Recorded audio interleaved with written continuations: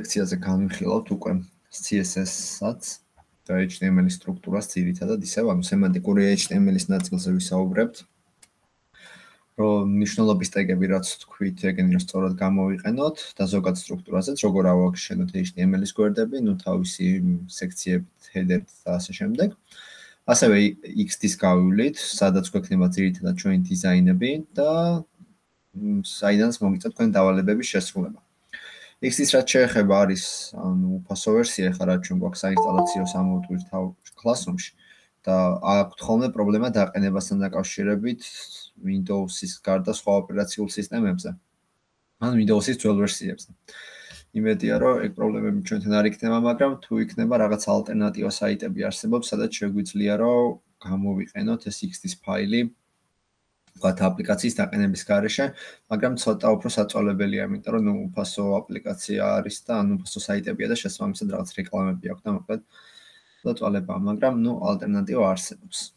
კიდევ ერთი ალტერნატივა არის, რომ Figma-ში გადავიტანოთ ხოლმე დიზაინები, ეგ ონლაინ პლატფორმა არის და ონლაინ ანუ ონლაინიც არის და ონლაინში მარტივად დავათვალიერებთ, მაგრამ მანდ ერთი პრობლემა არის ხოლმე, რომ X-დან Figma-ში გადაგაქვს რაღაცები ზოგჯერ იკარგება რაც აცდენებია ხოლმე და რაღაც სევერ გადადის როგორც საჭირო. ოკეი, მოკლედ ამ თემებზე მე გამოჩნდება თუ ვინმეს რამე პრობლემა შეექმნება, მანამდე დავიწყოთ ჩვენი ლექცია. პირველ რიგში, როგორც უკვე ვიცით, იმისათვის რომ მუშაობა დავიწყოთ, გჭირდება რომ გქონდეს ერთი ცალი ფოლდერი შექმნილი, ხო? რაც იყოს მოდი ჩვენთვის lecture 2. რაც ეს უნდა განშენო. აა შემდეგ ფოლდერის გახსნა გვინდა. ამისათვის უბრალოდ ჩავაგდებ Sublime-ში ამ ჩვენს ფოლდერს და გაიხსნება ახალი ცარიელის ფურცელი. რაც შეეხება სტრუქტურას, სტრუქტურის აწყობა შეგვიძლია პირდაპირ, ანუ აქედანვე გავაკეთოთ ხოლმე, ან საერთოდ ფაილი გავხსნა, აქ და ფოლდერები აქვე შევქნა მაგალითად, რაც დამჭირდება. ანუ სამუშაო ჩემს სამუშაო ფოლდერში. ვისაც როგორ გაგიხარდებათ, ისე გააკეთეთ. პირველი რაც ვთქვით, გვჭირდება რომ გქონდეს ერთი ცალი ფაილი, ანუ მთავარი ინდექსის გამოშვების ფაილი, რომელიც არის, რა თქმა უნდა, HTML გაფართოებით. ანუ ამას ყოველთვის მიაჩვენეთ, რომ პირველი ფაილი, რასაც გააკეთებთ და რასაც ну თუნდაც ატესტად აკეთებთ რაღაცა ყოველთვის დაარქვით ინდექს მიაჩვენეთ, იმიტომ რომ ზოგადად და ბილდვა ხდება ამ ინდექს ფაილის შემდეგ. და აი თუნდაც GitHub-ზე რო ავიტან ჩვენ ჩვენ კოდს რო და GitHub-ზე შეგვიძლია რომ ჩვენი კოდი რაც დაობილდოთ URL-ს დაგენერირებს და ჩვენი საიტი იქნება გაშვებული GitHub-ის სერვერებზე უფასოდ. მაგრამ ამისათვის საჭიროა რომ პირველ ფაილს ერქოს ყოველთვის ინდექსი, სხვა შემთხვევაში GitHub-ი არ დაბილდოს. და ყველაფერი პატარა ასეთი. შემდეგ რა გვინდა? გვინდა სტრუქტურა. პირველი ტეგი რაცაც წერთ არის doc-type-ი. და ეს doc-type-ი მოსწრებით დავწეროთ, არის იმისათვის, რომ მივახვედროთ ბრაუზერი რომელ ვერსიაზე ვწერთ. ეს არის ჩვენი მეხუთე ვერსიის მიმანიშნებელი, იმიტომ რომ ეს არის ყველაზე ახალი ვერსია და შესაბამისად უფრო მეტი ფიჩერი და უფრო ვთქვათ გაუმჯობესებული ვარიანტები გვაქვს მოკლედ. შემდეგი ტეგი, რასაც ვწერდით, იყო HTML-ი. Ну ტეგის აწერა ხო გახსოვთ ხსნით რაღაც ნაკლებობის ნიშანი, ტეგის სახელი, მეტობის ნიშანი, ტეგი გაიხსნა და შემდეგ რო დავხუროთ ნაკლებობის ნიშანი სლეში და უკვე ავტომატურად დამიხურავს ტეგს. ანუ ეს არის ყოველთვის ტეგის დაწყება სტანდარტული სახელით, ხოლო როცა სლეში ურევია, ეს ნიშნავს, რომ ტეგი დამთავრდა, ანუ ტეგი იხურება და ამის იქით არ შეიძლება რამე იყოს, ტეგს გააჩნია, შეიძლება არც აღარც არაფერი გქონდეს. ასევე სტრუქტურაზე რო ვახსენოთ მეილნელა. HTML-ის შიგნით ამ შემთხვევაში, ну HTML-ის რა ნებისმიერი ტეგის, მაგრამ HTML-ის შიგნით ამ შემთხვევაში, რო გვაქვს ორი ცალი power ტეგები, რომელიც არის head-ი და body. ეს ტეგები არიან აი ამ ტეგის შვილები. ანუ ასეთი მიმართვიანობა და მიდგომა გვაქვს HTML-ში, რომ ყოველი ტეგი, რომელიც რაღაცა ტეგის ქვეშ წერია, არის ამის შვილი და ეს არის ნუ ამის შობელი შესაბამისად. ანუ head-ის და body-ის შობელი არის HTML და HTML-ის შვილი არის head-ი და body. ესენი არის მეზობლები დაუძახოთ ან დაძმა. როგორც გაგიხარდებათ. მმ შემდეგ title-ი გჭირდება იმისათვის რომ მოვახდინოთ განსაზღვრა ჩვენი სათაურის რა გვინდა რომ იყოს. ეს იყოს მოდი lecture-ი. იმიტომ რომ ჩვენ ხო არ გვინდა რომ ჩვენ საიტს რაღაცა index.html ერქოს ან რაღაც ისეთი random სახელი, ხო? ჩვენ გვინდა რომ კონკრეტული მიზანი რაც გამოძრავებს, რომ საიტი გავაკეთოთ. შესაბამისი სახელიც უნდა შევარჩიოთ საიტის ტაბისთვის. შესაბამისად წერთ titles. title იწერება head-ში, როგორც უკვე ვთქვით, იმიტომ რომ body-ში წერთ მხოლოდ იმ ლოგიკას, რომელიც უშუალოდ ჩანს ჩვენს ფანჯარაში, ან უშუალოდ კონტენტში. ხოლო რაც უშუალოდ არ ჩნდება და ნუ დოკუმენტს გარეთ არის, ასე ვთქვათ. ეგ რაღაცები ძირითადად უკვე head-ის მხარეს არის, როგორც არის title-ი, შემდეგ იქნება import-ებს გავივლით, ეს რო CSS-ი შემოვიტანოთ. კიდე მეტათეგები და ასე შემდეგ, მოკლედ. head-ი არის ამ ასეთი შავი შავი სამუშაოსთვის, ასე ვთქვათ, და body არის უკვე უშუალოდ სამუშაო ჩვენს დიზაინს. Okay, title-ი არის head-ის შვილი. ну HTML-ის შვილი აღარ არის title-ი, უფრო გამოდის შვილი შვილი. ეხლა რატომ არის ეს სტრუქტურულად დაყოფა კარგი და სწორი? ოდესაც კოდს წერთ, მიღებულია სტანდარტი, რომ ყოველი შივილი ტეგი, ანუ ამის შიდა ტეგი იწყებოდეს ერთი ტაბის დაშორებით. ნუ შენ თქვენ შეიძლება ტაბს იყენებდეთ როგორც workspace, ანუ ამ ხელა ტაბებს იყენებდეთ, ამ ხელა დაშორებები ქონდეთ, ვიღაცა უფრო მეტ შეიძლება იყენებდეს ან ასე შემდეგ. მაგრამ იდეა ის არის, რომ ყოველი შვილი ტეგი შობლიდან ერთი ტაბით უნდა იყოს შეწეული, რათა სტრუქტურულად კარგად ახმადი იყოს კოდი. აი ახლაც უკვე როდესაც უყურებ, ეგრევე ხვდები, რომ მაგალითად ეს ამის შიგნით უკვე ახალი ტეგი იწება, ანუ ქვეტეგია, ამის შიგნით კიდე რაღაც ახალი ტეგი იწება, ესენი მეზობლები არიან, ანუ ყველაფერს მარტივად ხვდები და რაღაცის, აი მაგალითად ჰედში ამის ჩამატება რო გინდოდეს, ну ეგრევე ხვდები, სად უნდა გააკეთო, ან როგორ იყო პრობლემა. მაგრამ აი ასეთი რაღაც როგორ წეროს ჩვენ, ნახეთ? ანუ დიდ კოდში მით უმეტეს, ანუ უკვე იკარგება იდეა, ანუ უკვე არასწორად ვაკეთებ საქმეს, იმიტომ რომ ვერ ანუ მithumetes დიდ კოდში ვერ მიხვდები ამ ნავიგაცია როგორ იწყება რომელია შვილი ტეგი რომელია მეზობელი ტეგი და ასე შემდეგ. და ძალიან გაგიჭირდებათ აწყობა ამიტომ ყოველთვის მიეჩვიეთ რომ ყოველი ახალი შვილი ტეგი წეროთ ერთი ტაბის დაშორებით იმიტომ რომ დავალებებში ამას მიაქცევა ძალიან დიდი ყურადღება თქვენთვის არის პირველ რიგში კარგი. ბრაუზერი კი ყველაფერს წაიკითხავს, მაგრამ თქვენ რომ მოგიწიოთ თქვენი კონტენტი მიბრუნება, მე ძალიან გაგიჭირდებათ და ასევე სამსახურში რომ მუშაობდეთ ვიღაცასთან ერთად, ну მარტო ხო არ იქნებით. მან ანუ ეგეთი კოდი რო ავტვირთოთ ვიღაცას და მაგას რომ მოუწიოს მე მან რამის შეცვლა ან ჩამატება, ძალიან იწვალებს. შესაბამისად, ანუ არ არის კარგი პრაქტიკა რომ რაღაც კოდი წეროთ დამახინჯებულად და მაგალითად აი ასე რო წეროთ ან არ ვიცი მოკლედ უნდა დავიცოთ ერთი სტანდარტი კოდის წერაში, რომ იყოს ტაბებით დაშორებული ყოველი მომდენო ტეგი, ანუ ან ბადი რომ მაგალითად ასე მეწეროს და ჰედი ასე ანუ ყველაფერი არის შეცვლილი. სტანდარტული სტრუქტურა რაც არის, ყოველი შვილი ახალ ტაბზე, всё. ამისთვის არის რაღაცის თქმა უნდა და თუ დაგეჭირა ნათია. ოკეი. პირდაპირ თქვით ხოლმე თუ რამის თქმა გინდათ, არ არის საჭირო ის რომ. ფელისაწ. თუ რამე საბაბ არის ეს შენ. ხო, მე თქმა დაიჭირა. ოკეი. ამ კაი და სამბობდით.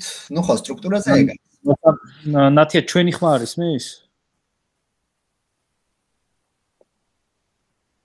კიდე პატარასოს მნიშვნელობა თუ აქვსო? აა კი რა თქმა უნდა, ტეგის სახელებს წერთ, ნუ პატარასოები სტანდარტულად შეიძლება იმაზე რა ქვია. ნუ ბრაუზერმა ასე თუ ის რაღაცა მაინც წაიკითხოს, მაგრამ ტეგს აქვს თავისი ჩანაწერი და შესაბამისად ვიყენებთ ამას lower case-თან, დაბალი ასოებით. ну იდეაში არც ერთი ტეგი არ მახსენდება ეხა რომელიც ცოტა დიდი ასოურებია ამ doc type-ის კარტ. ყველა იწერება lower case. ხოლო კონტენტში ნუ რასაც გადავცემთ უკვე ჩვენზე არის დამოკიდებული. ხო და VS Code-ზე ვახსენე რომ როცა გადავალთ VS Code-ზე, ანუ ჩვენს მეორე ტერმინ ტერმინალი კი არა და კოდის ედიტორზე, მას აქვს ბევრი ექსტენშენი და ერთ-ერთი არის code prettier, რომელიც კოდს გვილამაზებს, ასე ვთქვათ, და ავტომატურად ჩვენ რო რაღაცა გამოგვჩეს, ავტომატურად დაგვილაგებს იმ სტრუქტურით, რაც არის სტანდარტიზებული. ან შეგვიძლია ჩვენ ჩავამატოთ რაღაცები setting-ებში და ჩვენ გემოზე და გაალამაზოს ტექსტი, მაგრამ იდეა ის არის, რომ თქვენ თვითონ უნდა მიეჩვიოთ ჯერ პირველ რიგში სუფთა და სწორად კოდის წერას და ნუ prettier-საც მე გამოიყენეთ, მაგრამ მანამდე კარგი იქნება თუ ჩოვაში გექნებათ სწორი კოდის წერა. ერთი წუთი. ოკეი. აა შემდეგი რაც მინდა და მეჩვენებინა არის უკვე CSS-ის ნაწილი. ზოგადად როგორ ხდება CSS-ი ჩვენთან შემოტანა, საერთოდ რა არის CSS? მაგაზეც რა ვთქვა. როგორც პრეზენტაციებზე ვახსენეთ, CSS-ი არის რაც ამ სტაილინგისთვის გამოიყენება იმისათვის, რომ ჩვენი საიტი გავალამაზოთ და არ გქონდეს რაღაც ერთმანეთის უბრალოდ ჩონჩხი აწყობილი და ერთმანეთის ჩაყოლებით უაზრო დარიდოს აიტემები, მოკლედ გავალამაზოთ, მივანიჭოთ ფერები, ფონტები, ანიმაციები, მოკლედ რაც გაგვიხარდება ყველაფერი. და ახლა როგორ ხდება CSS-ის გამოყენება ჩვენს HTML-ის მხარეს? ანუ იდეა ის არის, რომ სადღაც უნდა გვეწეროს ეს CSS-ის კოდი, ხო? იმისათვის, რომ შემდეგ შემოვიტანოთ და დავაკავშიროთ. ანუ მჭირდება დაწერა კოდის, შემდეგ დაკავშირება და ნუ სწორად გამოყენება. უკვე ეგ ლოგიკურია. CSS-ის დაწერა შეგვიძლია სხვან ბევრნაირად, ასე ვთქვათ, რომ გადამოვაწოდოთ სტილები ჩვენს ელემენტებს. პირველი ვარიანტი არის, მოდი პირველი ვარიანტი გავაკეთოთ, უშუალოდ სტაილის. როდესაც ჩვენს ელემენტს, აი თქვენ ხო გახსოვთ, რომ აი at-x ქონდა href-ი, image ქონდა source. სტაილი აქვს ყველა ელემენტს საერთოდ, ანუ რასაც ვიყენებთ. და სტაილში უნდა გადავცეთ ის ვიზუალური მახასიათებლები, რაც გვინდა რომ ქონდეს ჩვენს ტექსტს ამ შემთხვევაში. გავხსნი მოდი მე ამ ფაილს და ერთად შევხედოთ. Okay, hello world. აი მაგალითად მინდა რომ hello world-ის ფერი გახდეს წითელი. ნუ რას გავაკეთებ? ну პირველ რიგში მჭირდება რომ ვიცოდე CSS-ში ფერი როგორ შევცვალო ტექსტის და ну პარამეტრების შემდეგ. მოდი მოვძებნოთ, იმიტომ რომ ჯერ არ ვიცით მაგალითად როგორ უნდა შევცვალოთ აა ტექსტის ფერი CSS-ის მხარეს. პირველ რიგში ვეძებ how to change. Change. Text. Color. In HTML CSS, okay. ამ ვაგდო. შევედი ტექსტებში და ნახეთ text color-ი, ზე მეუბნება რომ ეს არის color ატრიბუტი, რომელიც იღებს ან ტექსტად ან მოკლედ სხვადასხვა ტიპის ინფორმაცია შეგვიძლია გადავცეთ მნიშვნელობები და ის წაიკითხავს შესაბამისად. ანუ შეგვიძლია ფერის სახელი გადავცეთ, შეგვიძლია 16-ბიტი ფორმატი გადავცეთ, ან RGB-ის გადავცეთ, რა ქვია, პროცენტები. მოკლედ, ყველაფერი რაც კი ფერთან არის დაკავშირებული, ასეთ ვისეთ ამოყრილი აქვს. აი შესაბამისად ახლა ნახოთ გამოყენებაც, რომ ანუ მიანიჭა თქვათ color-ი, h-ს, green-ი და გახდა მწვანე. ანუ მეც რო ავდგე და h-ს მიანიჭა color green-ი, ჩემი h-ის გახდება მწვანე.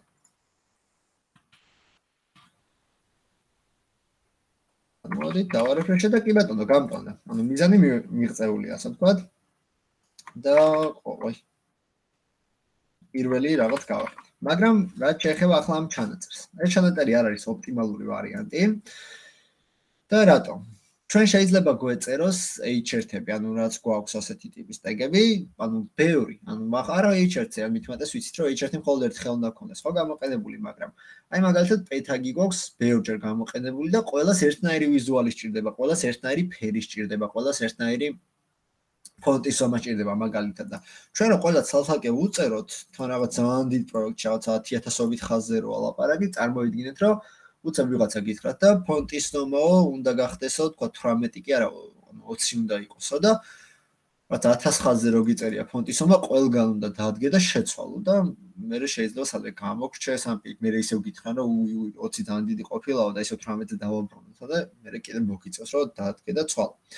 ამიტომაც ეს ჩანაწერი არის გამო ანუ არ გამოიყენება ზოგადად ინტენსიურად შეგვიძლია გამოვიყენოთ მხოლოდ მაშინ, როდესაც აი პატარა ტიპის რა გადაცემა გვჭირდება, ანუ რაღაც პატარა ინფორმაცია, რომელიც ხო ერთხელ გამოვიყენეთ, მივანიჭეთ უცებ, შევცვალეთ და მორჩა. ამისთვის ზედმეტი რაღაც რესურსი რო არ დავხარჯოთ. მეორე ვარიანტი უკვე რაც გვაქვს CSS-ის შემოტანის არის ის, რომ ჩვენთან თვითონ ჩვენთან HTML-ის მხარეს გქონდეს განსაზღვრული CSS-ის კოდები ცალკე, ანუ აი ეს ლოგიკა color green მაგალითად გვეწეროს არაუშუალოდ ელემენტზე, აი როგორც ახლა გავაკეთეთ. არამედ ცალკე განსავს რომ მე რაღაც რაც დამიბრუნებს color greens და შემდეგ ის მივანიჭო ჩემს h-ს. და ეხლა რა იქნება მაგის უპირატესობა ვნახო. ნუ გვაქვს სამი ცალი და უცებ გითხრეს რომ იცი რა მწვანე კი არა ყვითელი უნდა იყოსო და ოკეი დავდექი yellow ავიღე მე დავაკოპირე ჩავსვი თავს. ოკეი სამი ცალი შევცვალე და გადმოვედი. დავარეფრეშე უფ საერთოდ ჩვენს ყვითელი კარგი, ყვითელი არ მოეწონათ, მე მაგალითად წითელი ჩავსვი. ოკეი, წითელი მოეწონათ. მაგრამ წარმოიდგინეთ რა გავაკეთე. ყოველ ჯერზე ყველა ელემენტისთვის სათითაოდ შევცვალე მნიშვნელობა. ხოლო მეორე ვარიანტი, რაც შეგვიძლია რომ გავაკეთოთ, არის რომ განსაზღვროთ ჩვენი CSS-ის კლასები ცალკე, კლასებსაც გადავალთ უფრო დეტალურად და უკვე შემდეგ, როდესაც ამ კლასებს განსვავთ, ან სტილებს ცალკე დამოუკიდებლად, შემდეგ გამოვიყენოთ ის ჩვენს HTML-ში. ამისათვის გვაქვს head-ში განსაზღვრული style tag-ი, ფაილი. და ამ სტაილში იწერება უკვე ჩვენი ძირითადი სტილები, რაც გვინდა რომ გქონდეს გამოყენებული იმაზე რა ქვია. აპლიკაციაში ან ჩვენს ვებსაიტზე. აი მაგალითისთვის ახლა მე რომ უთხრა ამას, რომ h1-ის თქო ა CSS-ი ჩანაწერი არის შემდეგნაირი, რომ წერთ სახელს, სახელი ამ შემთხვევაში ჩვენ ვიყენებთ უშუალო ტეგის სახელს, ანუ ვეუბნები მე ჩემს კოდს, რომ h1 რაც შეხვდებაო, აი ამ ფრჩხილებში რასაც ჩავწერო, ის მიანიჭა h1-ს. ეს არის ჩანაწერის იდეა, ანუ ფრჩხილებით ვაკეთებთ ასე ვთქვათ, შემოსაზღვრას, ანუ ჩვენი სამყაროსი, რომ აი აქ რაც წერია, ეს არის მიმითითებელი, რომ ანუ სწორედ ეგ მიანიჭა h1-ს. ანუ აქ რო დავწერო ახლა მე color ready, აი ready და აქედან წავშალო, იმიტომ რომ ახლა გამჭირდება. ну ისე უნდა დარჩეს წითელი ფერი ჩემი ეს ტექსტები. და ახლა მის უპირატესობა რა არის? ნახეთ, რომ უცებ რომ მითხრა, რომ წითელი არა და მოდი რაღაც ლურჯი იყოსო, მე მხოლოდ ამ ადგილას შევცვლი. ანუ აქ არაფერს აღარ ვეხები, იმიტომ რომ ესენი აღარ მჭირდება სტაილები. ანუ მხოლოდ ერთ ადგილას ვცვლი და ყველა ავტომატურად იცვლება. ეს არის პირველ რიგში თქვა CSS-ი ცალკე გატანის უპირატესობა, რომ შეგიძლია გლობალურად მოარგო რაღაც ელემენტებს, რაღაც იდენტიფიკატორი ქონდეს და ამის დაბალანსო ის რომ კოდის წერა არ მოგიწიოს, ანუ ერთი და იმავე კოდის წერა არ მოგიწიოს ბევრჯერ. თუმცა როცა გადაკეთებაზე მიდის საქმე და რაღაცა ყველა უნდა გადააკეთო, ანუ კატასტროფაა, ხო? იმიტომ რომ რაღაცა 10000 ხალხს რა შეცვლის, როცა შეიძლება ხშირ-ხშირად მოგიწიოს ან შეცვლის. და ერთი თუ უნდა შევცვალოთ მარტო, ანუ სიტყვაზე ყველა მინდა რომ დარჩეს წითლად და ერთი გალურჯდეს. ვაშ ხომ მოგვიწევს რომ იქ H1 შევცვალოთ. აი მაგალითად კარგი კითხვა არის რომ ბოლო ელემენტი მაგალითად გვინდა რომ იყოს წითელი, თქვა და დანარჩენები ლურჯი, ანუ რომელიმე ელემენტი იყოს წითელი. აი აი მწოდით რაც ახლა გვაქვს, აი შეგვიძლია რომ ეს გავაკეთოთ, რომ ამათ მივანიჭოთ, რომ შენიყავი ყოველას მივანიჭოთ color blue და ამას უთხრათ, რომ შენიყავი color red-ი თქო. და ეს მიმართვა override გაუკეთებს ამ მიმართვას, ანუ გადააწერს, იმიტომ რომ style მიმართვა არის ყველაზე ისეთი კონკრეტული ამ შემთხვევაში. აი ნახოთ მაგალითი, გახდა წითელი და ეხლა ნახოთ მოდი ჩვენი ინსპექტს. პრეზენტაციაზე ვახსენეთ თქვენ. ინსპექტში ნახე ეხლა რა წერია. თითოეულ საწერია აქ სტილები მარჯვენა მხარეს, რომ h1-ს აქვს color blue, აქაც h1-ს აქვს color blue on მეორეს და მესამეს აქვს color blue, როგორც ასეთი CSS-იდან განსაზღვრული, მაგრამ არის ხაზგადასმული, იმიტომ რომ აი ელემენტის სტაილი რაც მივანიჭეთ, ანუ სტაილი არის უფრო პრიორიტეტული და შესაბამისად დაგვიტოვა წითელი ფერი. ამიტომაც დარჩა წითელი და თქვა არ არ დაოვერაი და ლურჯი. ახლა ეს რო გამოვართოთ, მაშინ ლურჯი გახდება ეს. ეს და ნახეთ გააქტიურდა ლურჯის ფერი. ოკეი, ეს არის ის ნაწილი, როგორ შეგვიძლია მთლიანად ტეგს მივანიჭოთ ჩვენი რაღაც სრულისამებ სტილი. მაგრამ მეორე ვარიანტი არის, რომ აი ეს რაც ახლა შენ თქვი, რომ იქნებ მინდოდეს, რომ აი რომელიღაცა სხვა ფერი მივანიჭო და ყოველ ჯერზე რო სტაილები ვწერო, ეგეც დიდად არ მაწყობს. ან საერთოდ შეიძლება ისე მქონდეს, რა ქვია. რაღაცები საერთოდ იყოს, მაგრამ რაღაც განსხვავებული ელემენტებიც მინდოდეს. აი მაგალითად ის, რომ აქ H1 მოდი ცოტა ისეთი მაგალითია ამ ეტაპისთვის H2 ავიღოთ, თქვათ. ან უკეთესი მარკე ძალიან პატარა H2 იყოს. და მინდა რომ ყველა იყოს თქვათ ლურჯი ფერის. მაგრამ თან ზოგ-ზოგიერთის ხონდეს სხვა font size-ი, ამას მაგალითად კიდე სხვა რაღაც, ამას კიდე სხვა რაღაც. აი მაგალითად მინდა რომ პირველი H1 იყოს, კი ანუ პირველი H2 იყოს ლურჯი და მეორე H2 იყოს მწვანე. და მესამე H2 იყოს აა რა ფერი ავიღოთ. ეს თურედი გოგო. არ არის. ანუ მაგალითად ასეთი ჩანაწერი გავაკეთე, რომ ლოგიკურად ეხა აქ მაქვს 3 H2 და მე დავდექი და თქვი, რომ აი პირველი H2-ისთვის თქო მიანიჭო ლურჯი ფერი თქო, მეორესთვის მწვანე თქო, მესამესთვის წითელი თქო. გადმოვედი და ნახე რომ ვა, ყველა წითელია. ანუ რა მოხდა? რომ სამი დავწერე და წაიკითხა მხოლოდ ეს, ანუ ბოლო რაც ეწერა, ეგ ეგ მიანიჭა. ოკეი, ნახოთ რა ხდება კონსოლში. კონსოლში ნახავთ რომ განსაზღვრულია ყველაფერი, ნახეთ აქ ხაზებსაც ხედავთ რა რომელ ხაზზეა განსაზღვრული, რომ მე7 ხაზზე არისო color blue, მე1000-ზე არისო color green-ი და მე-13-ზე არის redi-ო და დარჩენილია redi. ანუ მიანიჭა წითელი ფერი. და რატო? ჩვენ თუ გვინდა რომ ამ თითოეულს კონდეს განსხვავებული ფერი, მსგავსი ტიპის ჩანაწერი არის შეცდომა. ეს ნიშნავს, რომ ჩვენ ზოგადად H2-ისთვის განსაზღვრეთ რაღაც კონკრეტული სტილები, თქვა color blue და შემდეგ ისევ რომ განსაზღვრეთ, უკვე ეს overrides უკეთებს, ანუ ზემოდან გადაეწერება მის ზემოთ არსებულ, აი რაც უნდა წერებოდა ზემოთ და როგორც არ უნდა წერებოდა, თუ შევეხებოდით H2-ის color attributes, ამ შემთხვევაში ეს გადააწერდა Z თავს. ანუ რადგან აქ იყო color blue, მის ქვემოთ არსებულმა color green-მა გადააწერა, იმიტომ რომ პარამეტრების დამთხვა მოხდა, რაც თავარია, ანუ ატრიბუტები დაემთხვა. ახლა აქ რო სხვა რაღაცა ეწეროს, მაგალითად background color. რომელიც background-ის ფერსიც ვის. მაშინ, ანუ ერთმანეთს overrides არ გაუკეთებენ, იმიტომ რომ სხვადასხვა ატრიბუტები არიან. ხვდებით, რომ ანუ ეს დარჩება როგორც ლურჯი, ეს დარჩება როგორც background color green, მაგრამ კაცრავად.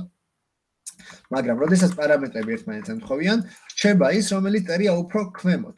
ანუ რიგის მიხედვით უფრო ქვემოთ. ამიტომაც დარჩა წითელი. ეხლა რატო რჩება ხო ის ქვედაო რა ნუ რაღაც მიზეზი ხო უნდა კონდეს და კი ბატონო ეს იმიტომ რომ ბრაუზერი ჩვენს კოდს კითხულობს line by line ანუ ხაზებით მოყვება წაიკითხა პირველი ხაზი მეორე მესამე მეოთხე ას მოყვა და მე როეზე წაიკითხა რომ აქ color-ი უნდა კონდეს h-ს blue კარგიო ასეც მოვიქცევიო აგრძელოს მაგრამ მე-11-ზე წაიკითხა რომ h-ის color-ი უნდა იყოს green-ი მაშინ ჩათვალა რომ რადგან ბოლო ესე წერა ოკეი არ მაინტერესებს ზემოთ რა იყო მე ახლა ამას დავტოვე. მე კიდე წაიკითხა და ოკეი რადგან ეს არის ბოლო ესე იგი ეს არის ყველაზე პრიორიტეტული და ანუ რადგან ბოლოს ეს წავიკითხე ეს ვიცი უკვე ხო? იმიტომ რომ ბოლო რაც წაიკითხა ის დარჩა. შესაბამისად ამანაც მიიღო წითელი ფერი. რამე გაოგებარი ხო არ არის აი ამ ნაწილთან დაკავშირებით არა ოკეი ძალიან კაი კარგი მაშინ რა ვქნათ მაშინ თუ მინდა რომ ანუ ყველა HR-ს მივანიჭო სხვადასხვა ფერი და თან არც გამოვიყენო ის სტაილი, რაც თქვი, იმიტომ რომ მე რესათითაოდ მომიწევს ხოლმე ამბოცლა, კიდე დიდი კოდები რომ ეწეროს. ამისათვის არსებობს კლასები და ახლა თქვა რა არის კლასი.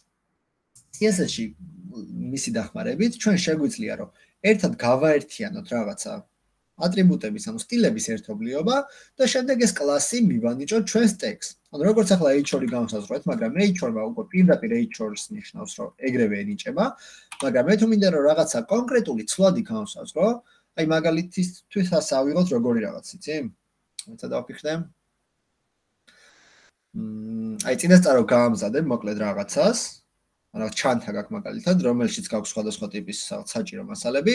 და ეს ჩანთა გაქვს სულ გამზადებული და სადაც გინდა იქ წაიღებ და სადაც კი როგორც გინდა იქ გამოიყენებ. ანუ თუ გინდა თქვა წაიღებ, თუ გინდა მე არ წაიღებ და რაღაც შეცვლი, თუ გინდა რაღაც ბევრი ჩანთა გექნება და რამდენიმე ადგილას წაიღებ, მოკლედ ხო ჩანთა ცოტა ისეთი მაგალითია, იმიტომ რომ ერთ ერთ ჯერად გამოიყენებ ხოლმე, მაგრამ ანუ სისტემა არის იდეაში რომ ერთხელ წე და რამდენჯერაც გინდა იმდენჯერ გამოიყენებ მე. კლასის განსაზღვრას რაც შეეხება, თუ ტეგის განსაზღვრა ხდებოდა პირდაპირ სახელით, კლასი უნდა დავიწყოთ წერტილით. ანუ თუ CSS-ის კოდია და ვხედავთ რომ წერტილით არის რაღაც განსაზღვრული, ესე იგი ვიცით რომ ეს არის კლასი. და ეხლა მაგალითად კლას დავარქვათ რაღაც სახელი, რომელიც იქნება რა ფერს შეუცვლის ჩვენს h-ს. მაგალითად მიანიჭებს რაც კონკრეტულ აა აი ლურჯი ფერი აქვს, აი კონდეს კლასი, რომელიც დაგიბრუნებს ლურჯ ფერს, color blue. გავხსნათ ისე ფრჩხილები სტანდარტულად და დავწეროთ ახლა color. აი. ანუ მე გავსაზღვრე კლასი და მივანიჭე ის property რაც წეგან text ქონდა მინიჭებული. მოდი მაგასაც დავტოვებ საჩვენებლად რომ იყოს. color red. ახლა რომ ნახავ, refresh-ით შემდეგ ყველაფერი იქნება წითელი და blue საერთოდ არ ჩანს. ნახეთ? ანუ მარჯვენა მხარეს მხოლოდ red-ი არის განსაზღვრული. კლასს როდესაც შევქმნით ჩვენ და გადავცემთ რაღაც ატრიბუტებს, დავაწყოთ მოკლედ ჩვენ სასურველ კლას. ამის შემდეგ ჭირდება რომ კლასი დავა როგორმე დავაკავშიროთ ანუ ტეგს უთხრათ რომ აი შენ შეხედე ამ ადგილს და აქ რა წერია, წაიკითხე და ყველაფერი გამოიყენე. და როგორ ვაკეთებთ ამას? თვითონ ტეგში ან როგორ სტაილი დავწერეთ წინა შემთხვევაში, ისევ წერეთ კლასს უდრისი და ეს ავტომატურად მიანიჭა, მაგრამ ნუ სჭირდება უდრისი და ორიანი კვოტები და შემდეგ წერეთ კლასის სახელს. ნუ როცა აქვს განსაზღვრული. და ეს არის color blue ჩვენ შემთხვევაში. color ტირე blue შევინახოთ. და რეფრეშის შემდეგ ნახეთ პირველი გალურჯდა. ეხლა რა მოხდა? ну h4-მა კი მიანიჭა წითელი ფერი, მაგრამ შემდეგ color bloom მიანიჭა ლურჯი ფერი. და რატომ მიანიჭა color bloom? იმიტომ რომ უფრო ქვემოთ იყო განსაზღვრული. ნახეთ? აა, არა, კლასის მიმართვიანობა, ოკეი.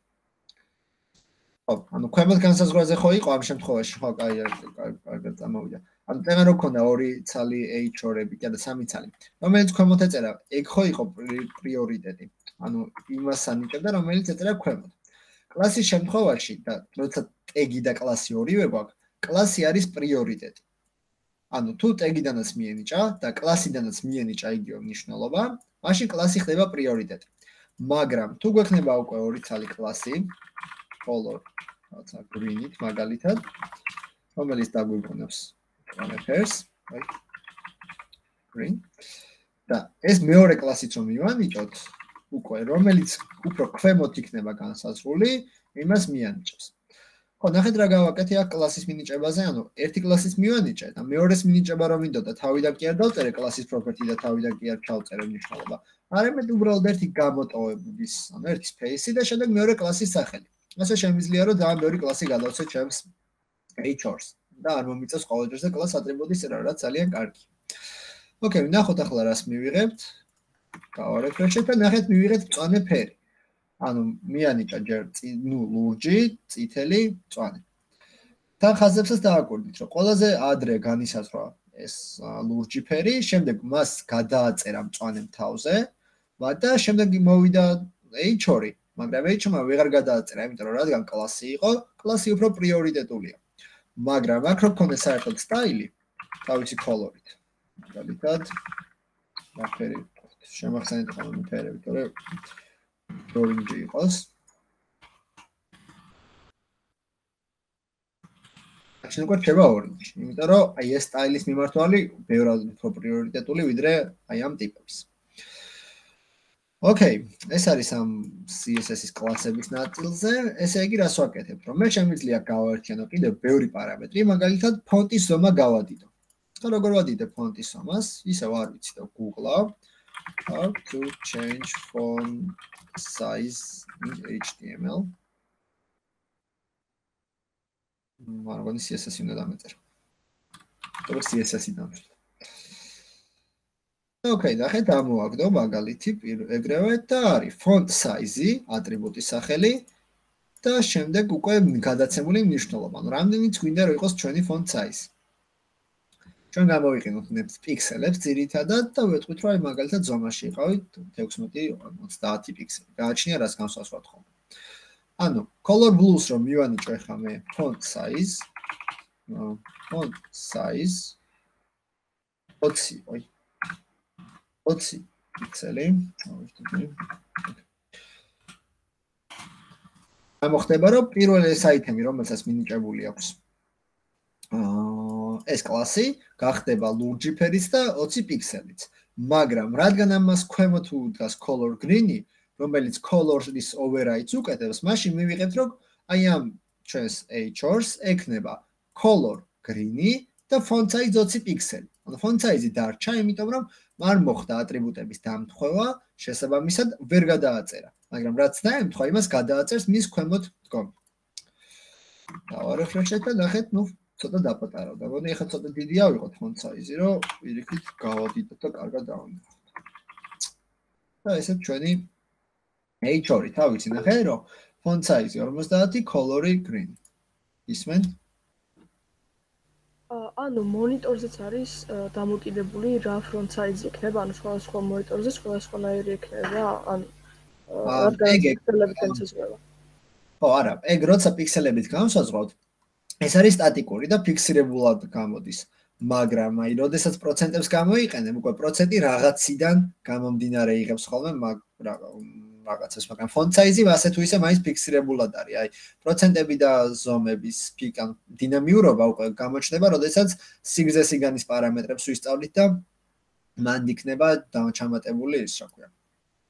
ან გასათვალისწინებელი იქნება უფრო სწორად მანდრო გვექნება პროცენტები, რომლებიც დინამიურად შეიცვლიან ზომებს, ანუ თუ ჩემი ეკრანი არის 1000 პიქსელის სიგანის, მაშინ ჩემი თქვა wide 100%, ანუ სიგანი 100%-ით იქნება 1000 პიქსელი, თუ 500 გახდება, იქნება 500. და თუ ფიქსირებულად დავწერო იყოს ხო 500 პიქსელი, მაშინ რაც არ უნდა იყოს ეკრანის სიგანე, მაინც 500 პიქსელი დარჩება ფიქსირებულად. პიქსელი არის სტატიკური ტიპის ნიშნულობა. that here is mentioned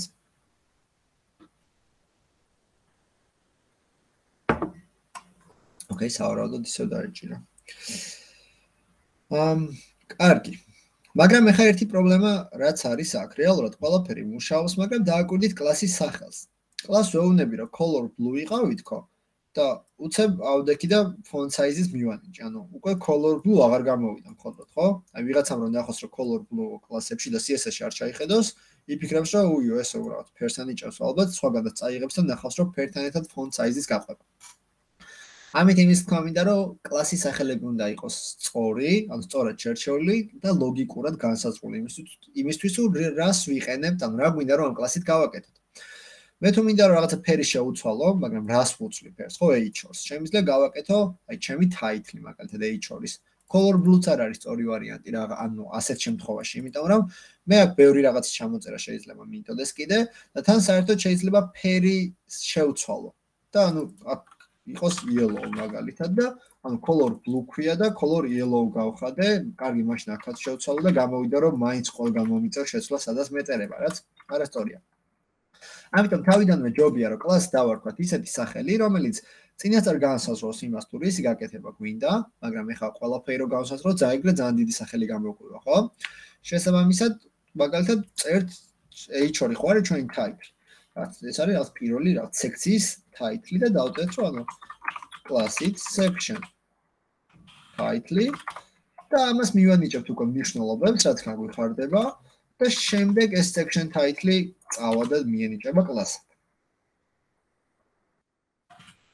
მოსაიგებთ? და ვშო, ყოველკვე ვიცი რომ ეს არის ჩემი სექციის title-ი, ანუ აქ მეწერება ყველაფერი, რაც ამ title-ისთვის მინდა რომ იყოს, ანუ იქნება ეს font size-ი, ფერი თუ ასე შემდეგ. და ამის შემდეგ უკვე ასე თავისუფალი ვიქნები იმისგან, რომ რაღაც შეცდომები არ მომივიდეს თუნდაც კლასის სახელებთან და მის ლოგიკასთან დაკავშირებით, იმიტომ რომ როდესაც სადმე მუშაობ, შეიძლება თქვენ მოგიწიოთ რაღაც ისეთ სამსახურში გადასვლა, სადაც ნუ პროექტი უკვე გამზადებულია და ნულიდან არ იწყებ წერას და შესაბამისად მან უნდა იყოს რაღაცები შეძლების დაგვარად დაალაგებული სტრუქტურულად და სწორად, რომ თქვენ გაგიმარტივდეთ და შემდეგ თქვენ უნდა გააკეთოთ სწორად, რომ თქვენ შემდეგ სხვას გაუმარტივდეს მისი წაკითხვა, გააზრება და შესწავლა იმ პროექტის.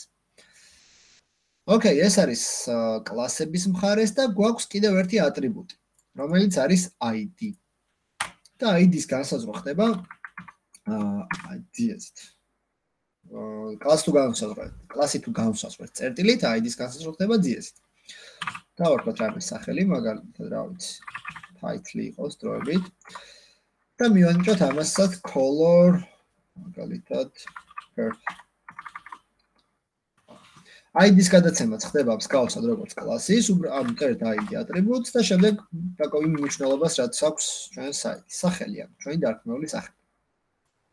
რა გავაკეთეთ, ხო? color-ი მივანიჭეთ, ფერი. მოდი ესე მეტი კლასები წავშალოთ, რომ ხელი არ შეგვიშალოს. ой. და ნახოთ რა მოხდება, ანუ ლოგიკურად ეხლა რაც ჩვენ ვიცით, ვთქვათ, რადგან წერია პირველი ID და color-ი აქვს, შემდეგ მოდის section-ი, section-ი კლასი ნახეთ რომ პრიორიტეტი იყო და ვთქვათ, ეს ვერ უკეთებდა overrides, მაგრამ ეხლა ნახოთ ID შემთხვევაში როგორ იქნება. ანუ ID უფრო პრიორიტეტული იქნება თუ კლასი. და refresh-ით ნახეთ მივიღეთ ეს purple, მე წამოისფერი ქვემონი ქართულად და მიუხედავად იმისა, რომ ეს ეწერა ზემოთ, კლას გაუკეთა override. ანუ ID არის უფრო პრიორიტეტული და უფრო კონკრეტული მიმართა ვიდრე კლასი. შესაბამისად უკეთებს ის overrides. ახლა ნახოთ მოდი სტაილი რო ეწეროს რომელი დარჩებოდა უფრო პრიორიტეტული და მგონი ამოვწუროთ უკვე ამ პრიორიტეტების ნაწილს. დავარეფრეშეთ და ოკეი, სტაილს მაინც ვერ აჯობა. ანუ ID მიუხედავად იმისა, რომ საკმაოდ ძლიერი არის, მაინც ვერ გაუწია კონკურენცია ამ სტაილს, იმიტომ რომ აქ უშუალოდ ელემენტზე მიმართავთ და ამიტომაც არის ყველაზე პრიორიტეტული. რა შეიძლება აიც რა ის T არის კიდევ ერთი არის კიდევ important-ი შეგვიძლია დავამატოთ და მე რეგვე ყველაფერს ჯობნის. ეგ ეგ ეგ მინდა, იმიტომ რომ ჯერ მინდა რომ მაგის garaშე მივეჩვიოთ. ანუ important პარამეტრი არის როგორი რაღაც, იცი? კარგია რომ ახსენე. აა ვეუბნებით ამას, რომ შენ ხარ იმპორტანტი, ან შენ ხარ მნიშვნელოვანი, ძახილის ნიშანი იმპორტანტი, ნებისმიერ კლასში შეგვიძლია დაუწეროთ და ამას უკვე აღარ აინტერესებს. სადაც უნდა ეწეროთ, აი მოდის საერთოდ ამას მივუწერო ყველაზე დაჩაგრული რომელიც იყო. და ამ შემთხვევაში ეს წითელი დარჩება ყველაზე პრიორიტეტი, იმიტომ რომ ეს არის იმპორტანტი. მაგრამ ეს იმპორტანტის წერა თუ გვიწევს ხშირად, ესე იგი რაღაცას არასწორად ვაკეთებთ ხოლმე, იმიტომ რომ ეს უნდა გამოვიყენოთ ძალიან ისე თქვა, იშვიათ кейსებში. ამიტომ იმპორტანტებით არ ეცადოთ თავიდან პრობლემების გადაჭრას, იმიტომ რომ არ დაგჭირდება თავი. ოკეი, ნუ თუ ისეთი პრობლემა როა ვერ მიხვდით და ვერ მოაგვარეთ სხვანაირად, მაშინ კი ბატონო, მაგრამ ჯობია რომ იმპორტანტის garaშე ვცადოთ ხოლმე. რა შეიძლება ID-ს? კლასი გამოიყენება ძირითადად იმისთვის, რომ მივანიჭოს სტილები, ხოლო ID-ს და უნიკალურობა მდგომარეობს იმაში, რომ ეს უნდა გქონდეს ერთი ID მხოლოდ ერთ ელემენტს უნდა მივანიჭოთ. ანუ მე შემიძლია რომ გავდგება კლასი გადავაწერო და ყოველას მივანიჭო ერთი და იმავე კლასი, მაგრამ ID თითოეული ელემენტისთვის უნდა იყოს უნიკალური. აი აქ ნახეთ მივანიჭო ყოველას რაღაც სტილები და ID უნდა გავხადოთ უნიკალური. ანუ თუ მინდა რომ ამასაც კონდეს რაღაც ID მაშინ ამისთვის სხვა ID უნდა გამოვიყენო.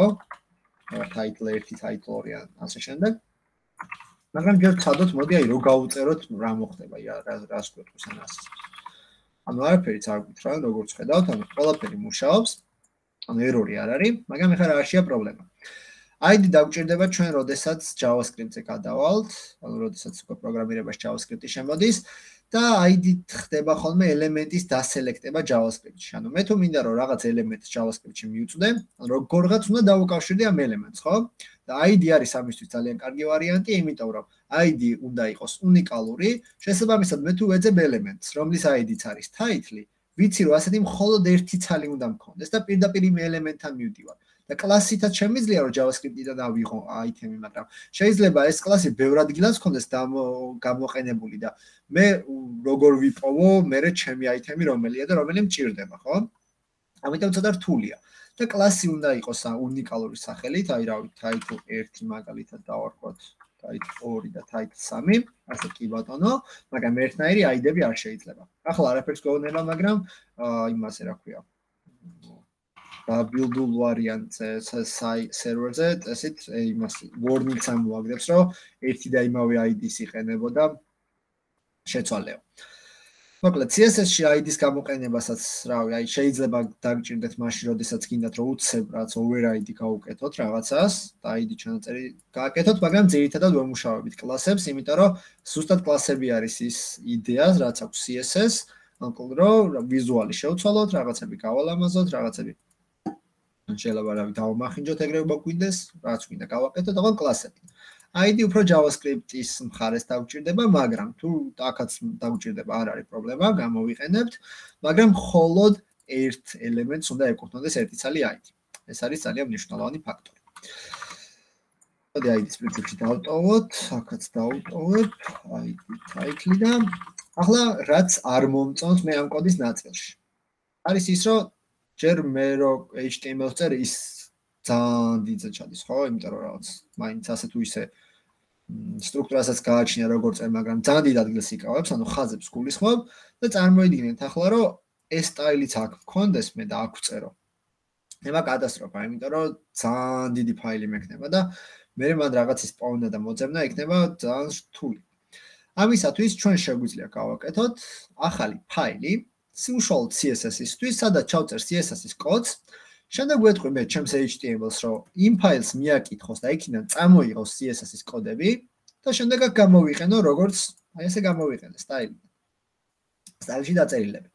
ასევე ამ წამოღება ის იდეა არის, როგორც მაგალითად იმიჯზე ვუთხარით, რომ აი ამ ფაილიდან გადი და იმ ფოლდერში შედი და ის ფოტო წამომიღეო, აი რაღაც მსგავსი ლოგიკა იწყობა აქაც. აი მაგალითი გავაკეთოთ ახლა ამის აა ეს მოდი დავაკოპიროთ. მე გავაკეთოთ პირველ რიგში ფაილი და ფოლდერი. მოდი ამჯერად გავაკეთებ ფოლდერს აქედან. აა სუშუალ სამუშაო ფოლდერიდან. დავარქმევ ამას CSS ანუ ჩვენ ეს ფოლდერს ყოველთვის ვარქმევთ CSS, იმიტომ რომ CSS-ის კოდი უნდა გქონდეს მასში განსაზღვრული. აქაც გამომიჩნდა და პირდაპირ new file-ით შევქმნი ახალ ფაილს, რომელიც იქნება style.css. ну მაგალითად index.html იყო ჩვენი ძირითადი კოდის ნაწილი. აი, გასავალ. style იქნება CSS CSS-ისთვის, ანუ ეს სახელი. ამიტომ ნუ თავა style-ის ფაილს შეგვიძლია დავარქვათ ხოლმე სულ style. ახლა რას ვაკეთებთ? ანუ სტაილის მხარეს, ანუ CSS-ის მხარეს, არ მჭირდება აი ამ ტეგის განსაზღვრა. რეალურად აი ამ ტეგით, ну სტაილი და ტაიპის ტექსტ CSS-ი ნიშნავს, რომ აი ამ ადგილას მე უნდა ჩავწერო CSS-ის ტიპის კოდი. და იმისათვის, რომ HTML-ს ის წაეკითხა როგორც CSS-ი, ამიტომ იყო საჭირო აი ამ ნაწილის განსაზღვრა, ხო? იმიტომ რომ ამის გარეშე დამეწერა მე HTML-ი წაეკითხავდა როგორც სტანდარტული ტექსტი. უბრალოდ ეცდებოდა წაეკითხა როგორც სტანდარტული ტექსტი. შესაბამისად ვერ გამოვიყენებთ ამ პროპერტიებს ისე როგორც ახლა ვიყენებთ.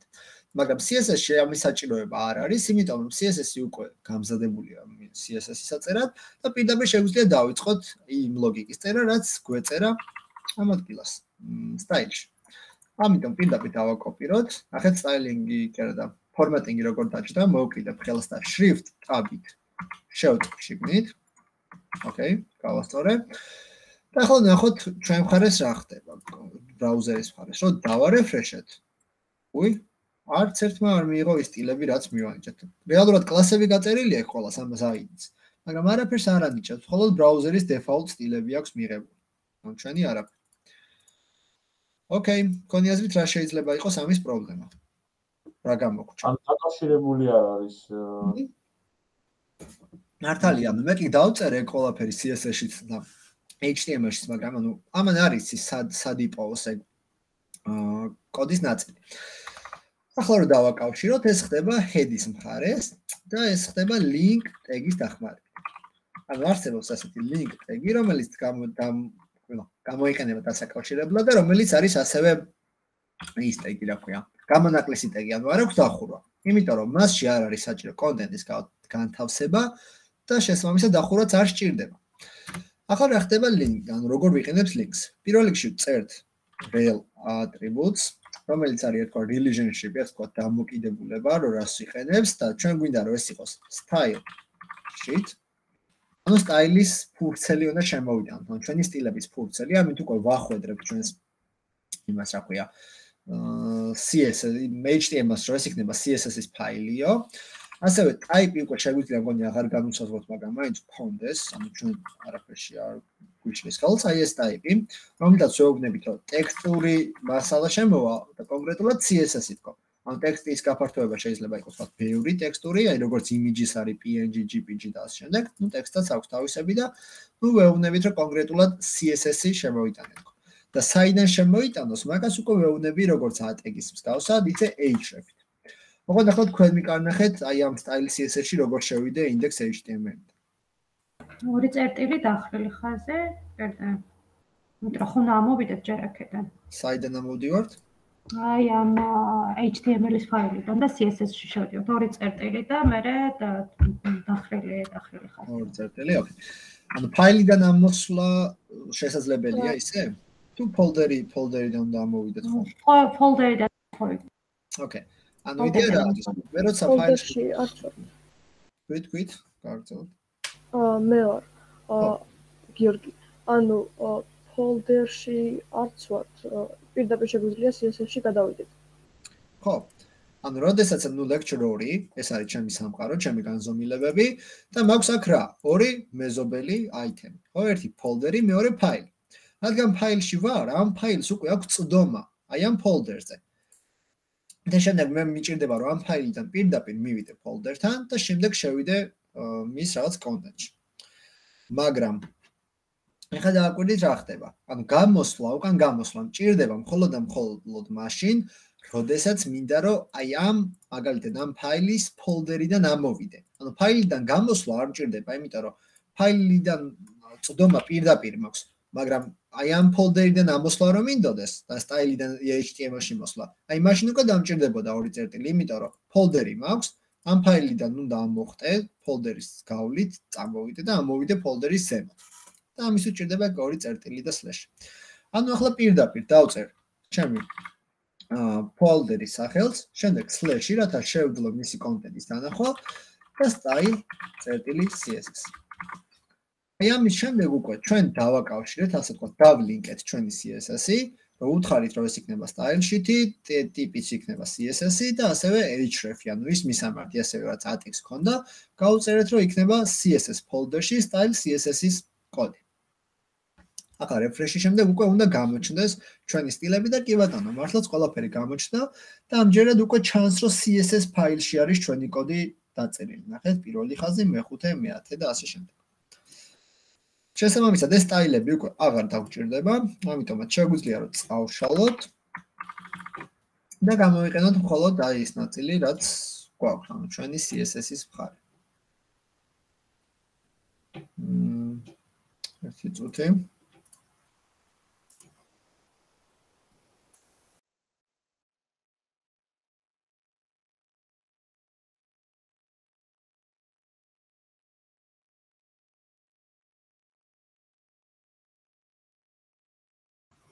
მომოდი, რა პრობლემა იყო. ხო. მოკლედ ჩვენ გავაკეთეთ უკვე CSS-ის ფაილი, დავაკავშირეთ HTML-თან, რამე შეკითხვა ხო არ გაქვთ, რამე გაუგებარი ხო არ იყო თქვენთვის ამ პროცესიდან.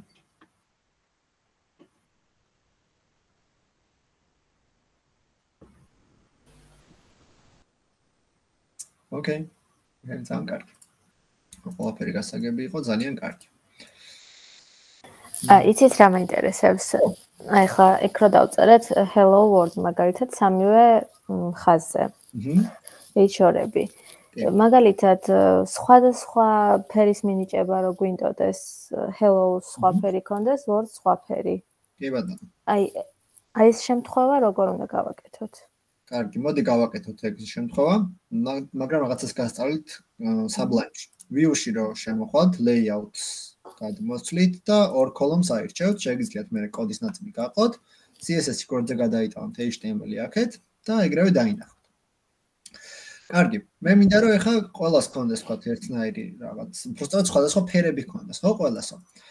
მე შემიძლია გავაკეთო ყოველასთვის სალთალკე კლასები, რომელიც მხოლოდ ფერებზე იქნებიან პასუხისმგებლები, ან მაგალითად დავარქვა section title, აი, ორი, იმიტომ რომ ეს არის ჩემი მეორე ტაიტლი მაგალითად და ამისი ფერი მინდა რომ იყოს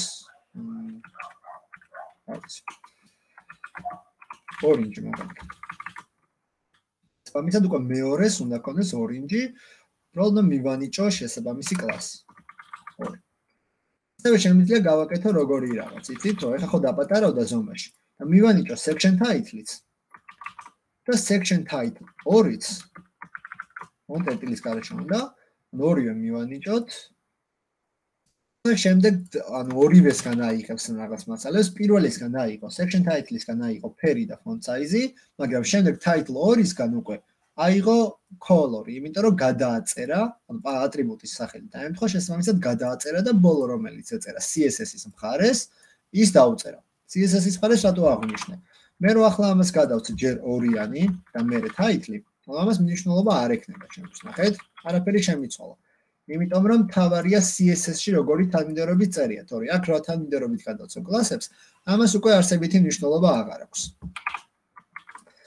ხოდა შეგვიძლია რომ თითოეულისთვის რაღაც კლასები გქონდეს, ეს კლასები კიდე იდეა ის არის რომ ხშირად გამოვიყენოთ, ანუ მე როდესაც განსაზღვრე რაღაცა title-ისთვის კლასი, რამდენი title-იც მექნება indenger ერთი და იმავე კლასი გამოვიყენო. ანუ სტანდარტულ დიზაინებში ეგრე არის შემუშავებული, რომ იმეორებს კონცეპტები ერთმანეთს, რომ თუ ჩემი ტაიტლი არის, ვთქვათ, 32 პიქსელი და რაღაცა მუქი ლურჯი, ყველგან ეგეთი ტაიტლი მექნება, რაც თუ H2-ია, რა თქმა უნდა. თუ H3 არის, მაგას თავისი ზომა იქნება, მაგრამ თუ სადმე H2 ვაკ გამოყენებული, ყველგან უნდა იყოს ერთი და იმავე, ვთქვათ, font size. იდეა ეს ფერები და ანუ ეს კლასები, ყველაფერი, ანუ მარტო H-ებზე მოქმედებს, მუშაობს თუ რა მაგალითად პარაგრაფზეც ან ატეგზე და ასე შემდეგ. არა, კი, ყველაფერზე. ანუ H-ები უბრალოდ საჩვენებლად ავიღე, რომ აქ დიდი ცოტა დიდი ზომის არის. ანუ ნებისმიერ იმას რა ქვია, CSS-ის კლასი შეგვიძლია რომ HTML-ის ნებისმიერ ელემენტს მივანიჭოთ.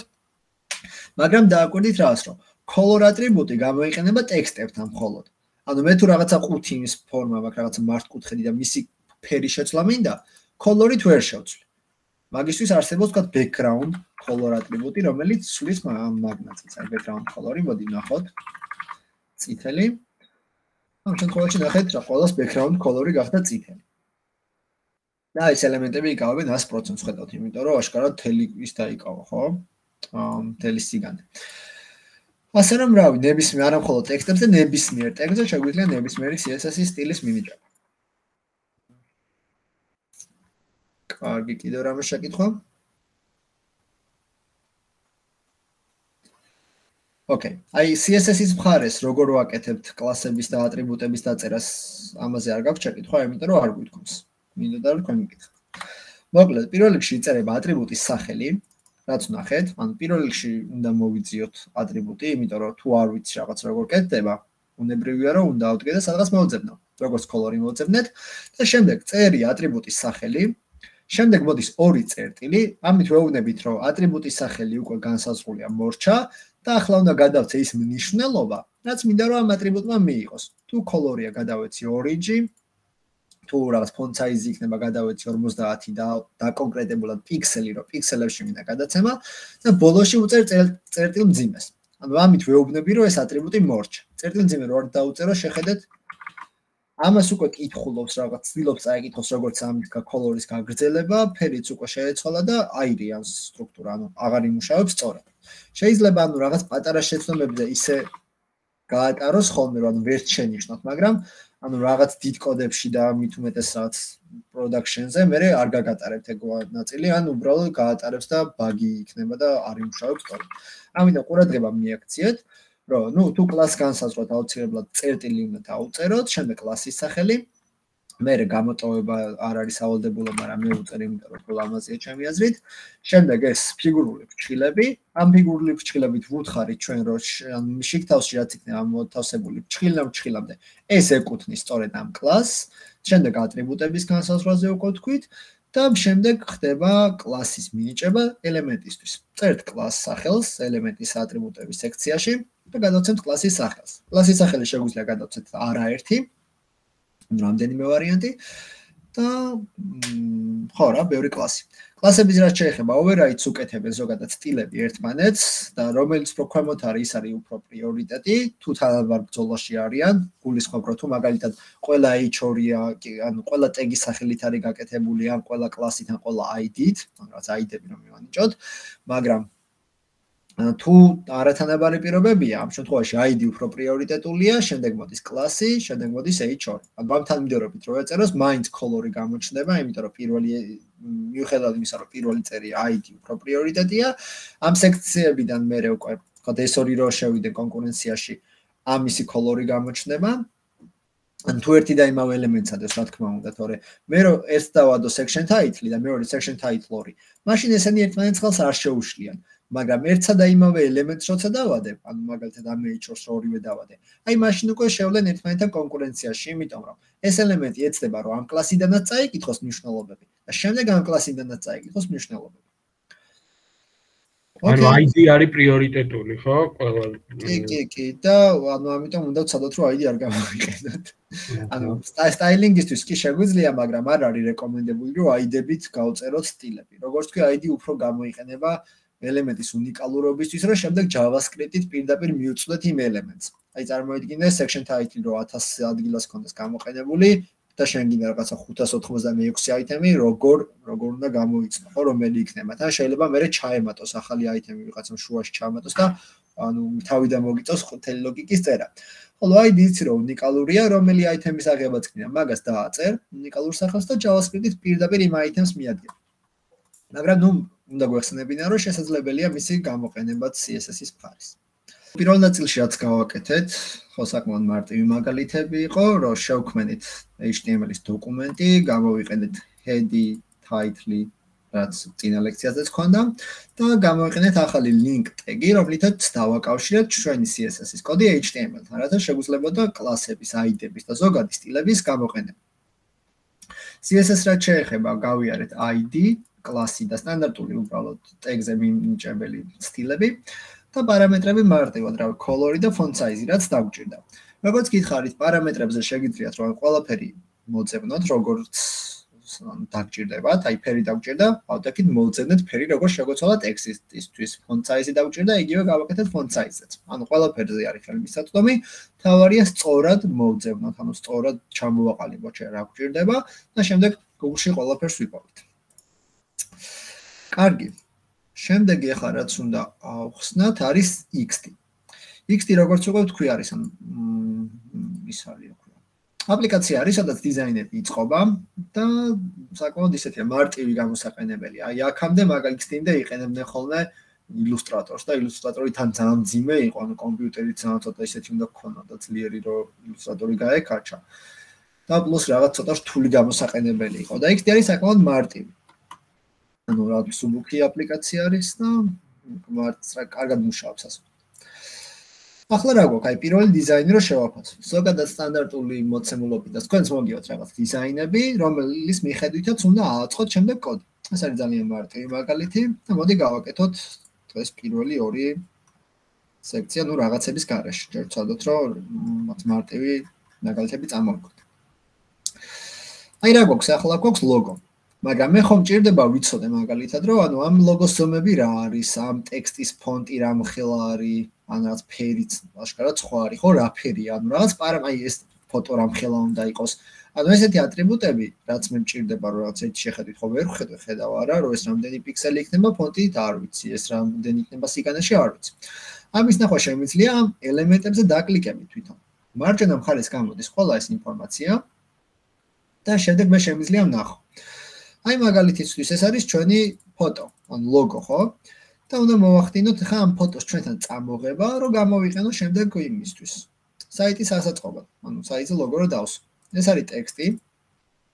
ტექსტი რო დავაკლიკებ, აქ უკვე უფრო მეტი ინფორმაცია მიჩანს, ვიდრე უბრალოდ უბრალოდ ლოგოზე მქონდა, ხო? იმიტომ რომ ეს მაინც ფოტო აღიქმება. აქ არის რომ font size არის 22 პიქსელი, როგორც ხედავთ. აქ თავისი ფონტისაც მეუნება, ანუ ფონტები არის განსხვავებული, ის თუ როგორ გამოჩნდეს ჩვენი ტექსტების ვიზუალი.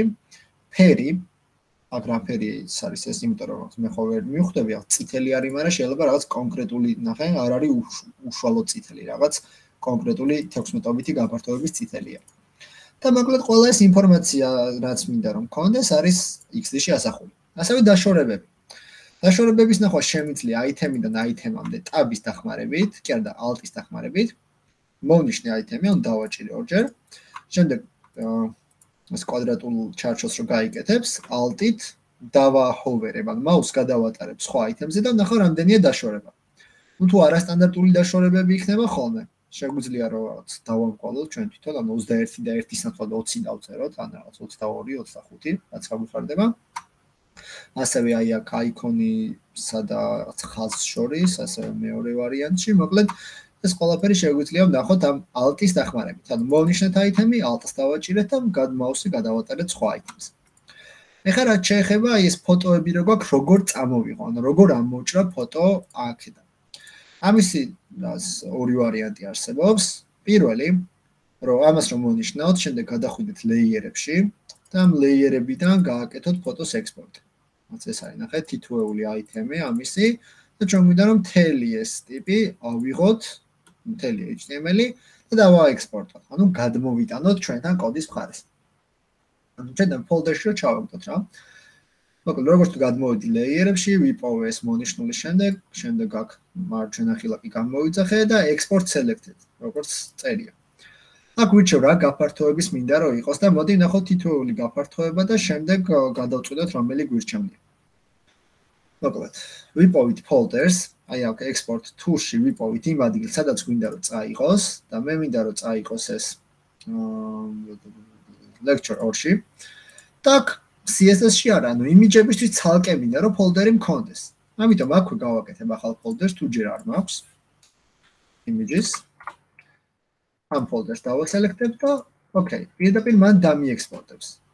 ფორმატირებას რაც შეიძლება, ფორმატს რაც შეიძლება, არის PNG, SVG, PDF-ი, JPG. PDF-ი საერთოდ არ გვჭირდება, არ არის იმიჯის გაფართოება. და ექსპორტი გავაკეთე PNG-ს. და ამდენი რო არ ვიწოლო, მეორე ვარიანტი მაქვს, რომ როდესაც მოვნიშნავ იმას, რისი ექსპორტის მინდა, Ctrl S დავაჭერ უბრალოდ და პირდაპირ ამოვიგდეს ამ ექსპორტის ფანჯარას. არ დამჭირდება აქეთ გადასვლა და ამდენი რაც манипуляციები ჩატარება. აქაც ნახეთ თუ შეამჩნიეთ export selected-ზე control e ეწერა შემოკლებული shortcut. ანუ დგები control e და შემდეგი ფორმატი. შემდეგი იყოს svg, ასევე export-ი და ბოლო გავაკეთოთ jpg. ასევე export. კარგი, ახლა შევამოწმოთ, რომ ჩვენთან სამიო ჩანდეს. კი ბატონო, ანუ ერთიც არის მეორეც და მესამეც, მაგრამ დააკვირდით რა როგორი ვიზუალი აქვს, რომ აი ამას რა ქვია, აი ამ ნაწილს GPG-ს თეთრი ბექგრაუნდი გამოყვა. ოკეი. PNG საერთოდ არ აქვს ბექგრაუნდი, ან ტრანსპარენტია და SVG საერთოდ ის არის, რა ქვია, კოდია. ანუ ისა, აი ის არ აქვს, რა ქვია. აა ანუ სურათი არ არის, ანუ მთელი კოდია წამოსული, ანუ რასტრული და ვექტორული ასე ეძახია, მაგრამ ჩვენ დე კარტა უჭირდება. ანუ უბრალოდ ვიცით, რომ SVG არ არის სურათი. ეს უჯარი რაღაც კოდი, რომელიც აწყობს შემდეგ სურათს. ახლა გამოვიყენოთ თითოეული და ვნახოთ. ესე წავშალოთ. იმიჯი როგორ შემოვიტანო იქ შემახსენეთ, რა ქვია? აა ეს HTML-ის ფარეს. image tag-ით. კი ბატონო. იმიჯი.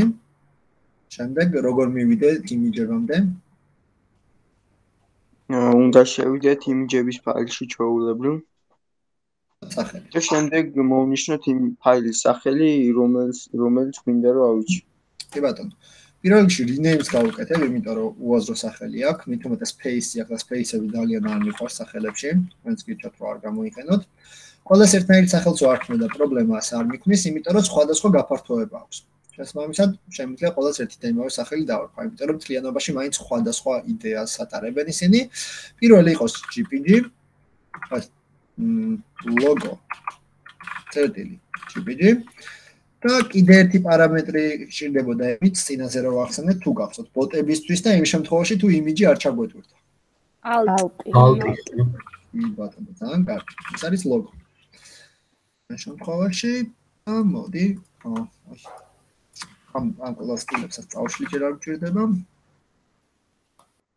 და გავაკეთოთ სამი პირდაპირ სამი ლოგოს შემოდანა. ენჯი და SVG. SVG.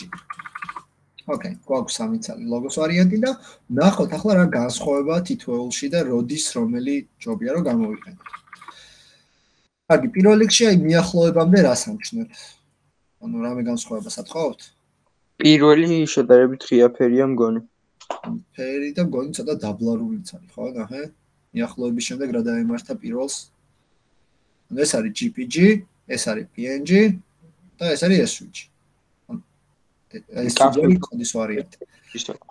ანუ SVG არის ძალიან კარგი ხარისხის ფოტო, რომელსაც შეუძლია რომ ხარისხი არ დაკარგოს მიახლოების შემდეგაც. ხოლო PNG ნახეთ რომ კარგავს და GPG-ს თქვენ თავიდანვე დაკარგული ქონდა უკვე ხარისხი. მაგრამ რომელი ჯობია რომ გამოიყენოთ, ანუ თუ მე მინდა რომ ლოგო გამოვიყენო, ან პატარა აიკონები მქონდეს ჩვენთან საიტზე და და მოვჭრა XD და ჯობია რომ SVG ფორმატში წამოვიღო. მით უმეტეს თუ გამჭვირვალე არის, ანუ უკან თუ რაღაც ბექგრაუნდები აქვს, მაშინ მით უმეტეს JPG არ გამომადგება. და ნუ PNG შეიძლება, მაგრამ აი ამ შემთხვევაში უკვე PNG-ც ნახეთ რომ ხარიც კარგავს, ამიტომ ლოგოს შემთხვევაში შეგვიძლია გქონდეს კი არა, უნდა გქონდეს SVG, აიკონების შემთხვევაშიც, პატარა აიკონების შემთხვევაშიც ასევე SVG. Ну შეიძლება ერთიორჯერ PNG ჩავსოთ, არც იქ იქნება პრობლემა, მაგრამ თუ არჩევანი გვაქვს SVG იყოს პრიორიტეტი. ახლა მეორე ვარიანტი background-ს რაც შეეხება. აი ჩვენ რო ყველაფერს მივანიჭოთ, მივანიჭოთ, ანუ ჩვენ მთლიან დოკუმენტს რომ მივანიჭოთ, მუქი ფერი, აი მაგალითად this მოხსოვია. dark mode მაქვს საიტზე. მე მინდა background color-ი. და ეს იყოს black. ოკეი, background color-ი გახდა black. დავარეშე ნახეთ. ანუ პირველმა ორმა კი არა მეორე ორმა კი შეიცვალა ფერი ანუ რეალურად შუალედები ჰქონდა ამას მაგრამ ბექგრაუნდი წამოიყოლა GPG ანუ თეთრი ბექგრაუნდი შესაბამისად ისეთი ფოტო სადაც აი ეს გამჭვირვალე რაღაცები უნდა ქონდეს რეალურად კონტენტში როგორც ამას აქვს ახლა ხო? ეს ცარიელი ადგილებია მოკლედ. GPG-ზე მოყვება ფერი უკანა ფოტოც რაც არ მაწყობს იმიტომ რომ უკვე dark mode-ზე პირველი შესამჩნევი ხარვეზი არის ეს ну PNG როგორც ვთქვით უბრალოდ ხარისხის იდეა არის რომ ხარისხი აქვს პროდუქტები დანარჩენ იდეურად კარგად მუშაობს ანუ ეწყობა საკმაოდ ვიზუალსაც ბექგრაუნდშიც და ну SVG აქაც ფავორიტია ამიტომაც წავშალოთ ახლა ჩვენ PNG და JPG, არ დაგვჭირდება და გამოვიყენოთ მხოლოდ ეს switch. delete file და delete file. დავიტოვეთ ეს switch-ის ვარიანტი. აი. მოიცეთ დროებით წავშალოთ და დავითხოვთ ჩვენი ვიზუალი საწყო. ჯობით იყოს single layout. Okay. ახლა შევაფასოთ ვიზუალი, ანუ სანამ კოდის წერას დავიწყებთ ხოლმე, ჯერ შევაფასოთ ის თუ რა გვაქვს და როგორ ვიყენებთ. ამ შემთხვევაში გვაქვს ასეთი რაღაც. ეს არის ნავიგაციის განყოფილება, სადაც არის ერთი ლოგო და ნავიგაციის ატრიბუტები, ანუ რომელზე დაჭერისასაც სადღაც უნდა გადავმისამართე. ან თავარი გვერდი, სიახლეები, კონტაქტი. ეს არის ჩემი ბანერი, რომელიც ჩანს თავარ გვერდზე და ეს არის ფუთერის ნაწილი, ანუ ჩემი საიტის დასასრული, სადაც არის ხოლმე მოცემული რაღაც სახის ინფორმაცია. ამ შემთხვევაში სოციალურ ქსელებთან კავშირია, აი კიდე რო არის, რომ ეს საიტი დამზადებულია, ამის უფლა ყველა უფლება დაცულია და ასე შემდეგ. მოკლედ ეგეთი ტიპის ინფორმაცია თავსდება ფუთერში. და ხო მორჩა, ეს არის პირველი სექცია. მეორე სექციაში გვაქვს ასევე ლოგო, თავისი ნავიგაციით, ანუ თლიანი ნავიგაცია. შემდეგ გვაქვს სტატიები, ანუ არტიკლები, რომელსაც აქვს თარიღი, სათაური, ფოტო და ტექსტი. და ნუ ერთი და იმავე არის, უბრალოდ ამოცვლილია მხოლოდ ფოტოები ჩვენ შემთხვევაში. და ისე ფუტერი. ოკეი, დავიწყოთ ახლა ამის აწყობა. პირველ რიგში დღეს უკვე გავისწავლით ბევრ ახალ ტექსტს და გავივლით მათ მნიშვნელობას. საიტი შედგება სამი ძირითადი ნაწილისგან. ანუ ზოგადად ყველა საიტი არის, მოდი ექსპრეს მაგალითად განახეთ. არის ჰედერის ნაწილი, სადაც არის გამოყოფილი ჩვენი ჰედერი, არის კონტენტი, სადაც არის მთელი ეს სექციები და ბოლოში არის უკვე ფუთერი. აი ეს ნუ ვარიანტი არის ფუთერის. ანუ ყველა საიტს აქვს ეს სამი განყოფილება. ანუ ყველა შემთხვევაში შეიძლება ზოგადად ზოგიერთ აი Facebook-ს მაგალითად infinite scroll-ი აქვს და შეიძლება ვერ ჩახვიდე ფუთერამდე, მაგრამ რაღაც გვერდებზე მგონი მანდაც არის. ამიტომაც ჩვენს გვჭირდება რომ განსაზღვროთ, რომ ჩვენ გვექნება ჰედერი, დიზაინში ვნახეთ, ხო? ჰედერი, ანუ საიტის თავი, რომელიც ყოველთვის ზემოდევს საიტის კონტენტი, ну შეიძლება იყოს სექციები, შეიძლება იყოს არტიკლები, აი და ორივე მაგალითს გავაკეთეთ და ფუთერი ბოლოში. ანუ ერთგვარი სენდვიჩივით ეწყობა. ჰედერის განსასაზღვრად გვაქვს ჰედერ ტეგი. ჰედერ რომელიც არის იმის მანიშნებელი, რომ ეს არის ჩვენი ჰედერი და ფუთერისთვისაც გვაქვს ასევე ფუთერ ტეგი. რომელთაც იმას ვამბობთ, რომ ეს არის ჩვენი ფუთერი. ანუ თუ რამე ჰედერისთვის მინდა რომ განსაზღვრო, უნდა განსაზღვრო ჰედერის კლასში, თუ ფუტერისთვის მინდა უნდა განსაზღვრო ფუტერის იმაში. ელემენტში, ამ ტეგში. მაგრამ კონტენტისთვის კონტენტეგი არა მაქვს. კონტენტი უკვე ასე ვთქვათ მოიაზრება, ასე ვთქვათ, რომ აი ამის ქვეშ უკვე ჩვენ კონდეს კონტენტები და გააჩნია რა ტიპის კონტენტია. თუ სტანდარტული სექცია არის, როგორც აი ამ შემთხვევაში უბრალოდ ბანერის ტიპია, ხო? ამ სტანდარტული სექციის შემთხვევაში გვჭირდება section tag-ი, ანუ რომლითაც განსაზღვროთ რომ ეს არის ჩვენი სექცია, ხოლო მეორე შემთხვევაში, როდესაც იყო არტიკლები, ანუ საერთოდ ისინი სტატიები. არტიკლებისთვის არის ცალკე ტეგი განსაზღვრული, რომელიც არის article და შეგვიძლია რომ სექციის ნაცვლად გამოვიყენოთ უკვე არტიკლები. იმიტომ რომ ჩვენ სტატიას განსაზღვრავთ. ანუ პირველი სტრუქტურა, რაც ამ გვერდისთვის ჭირდებოდა, ავაგე.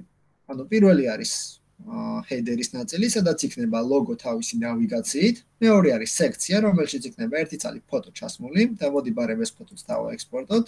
მოვნიშნე, კონტროლე, იყო JPG, იმიტომ რომ სტანდარტული ფოტო არის და სტანდარტული ფოტოები JPG-ით მაწყობს და გამოვუშვით. ასევე Facebook-ის ლოგოსაც წამოვიღებ, ეს იყოს SVG, იმიტომ რომ პატარა აიკონია და კარგი ხარისხიც მინდა იყოს. იგივე YouTube-საც. ანუ ესენი ჩვენც უნდა გადმოვიწეროთ, ხო? კი, კი. მე ხო ნახულობდა მე მგონი ფასიანია ხო კი ფასიანი არის როგორც თქვი და უფასო ვერსიას ამოგიტვირთავთ იმაში კლასრუმში ინსტალებში აჰა ოკეი.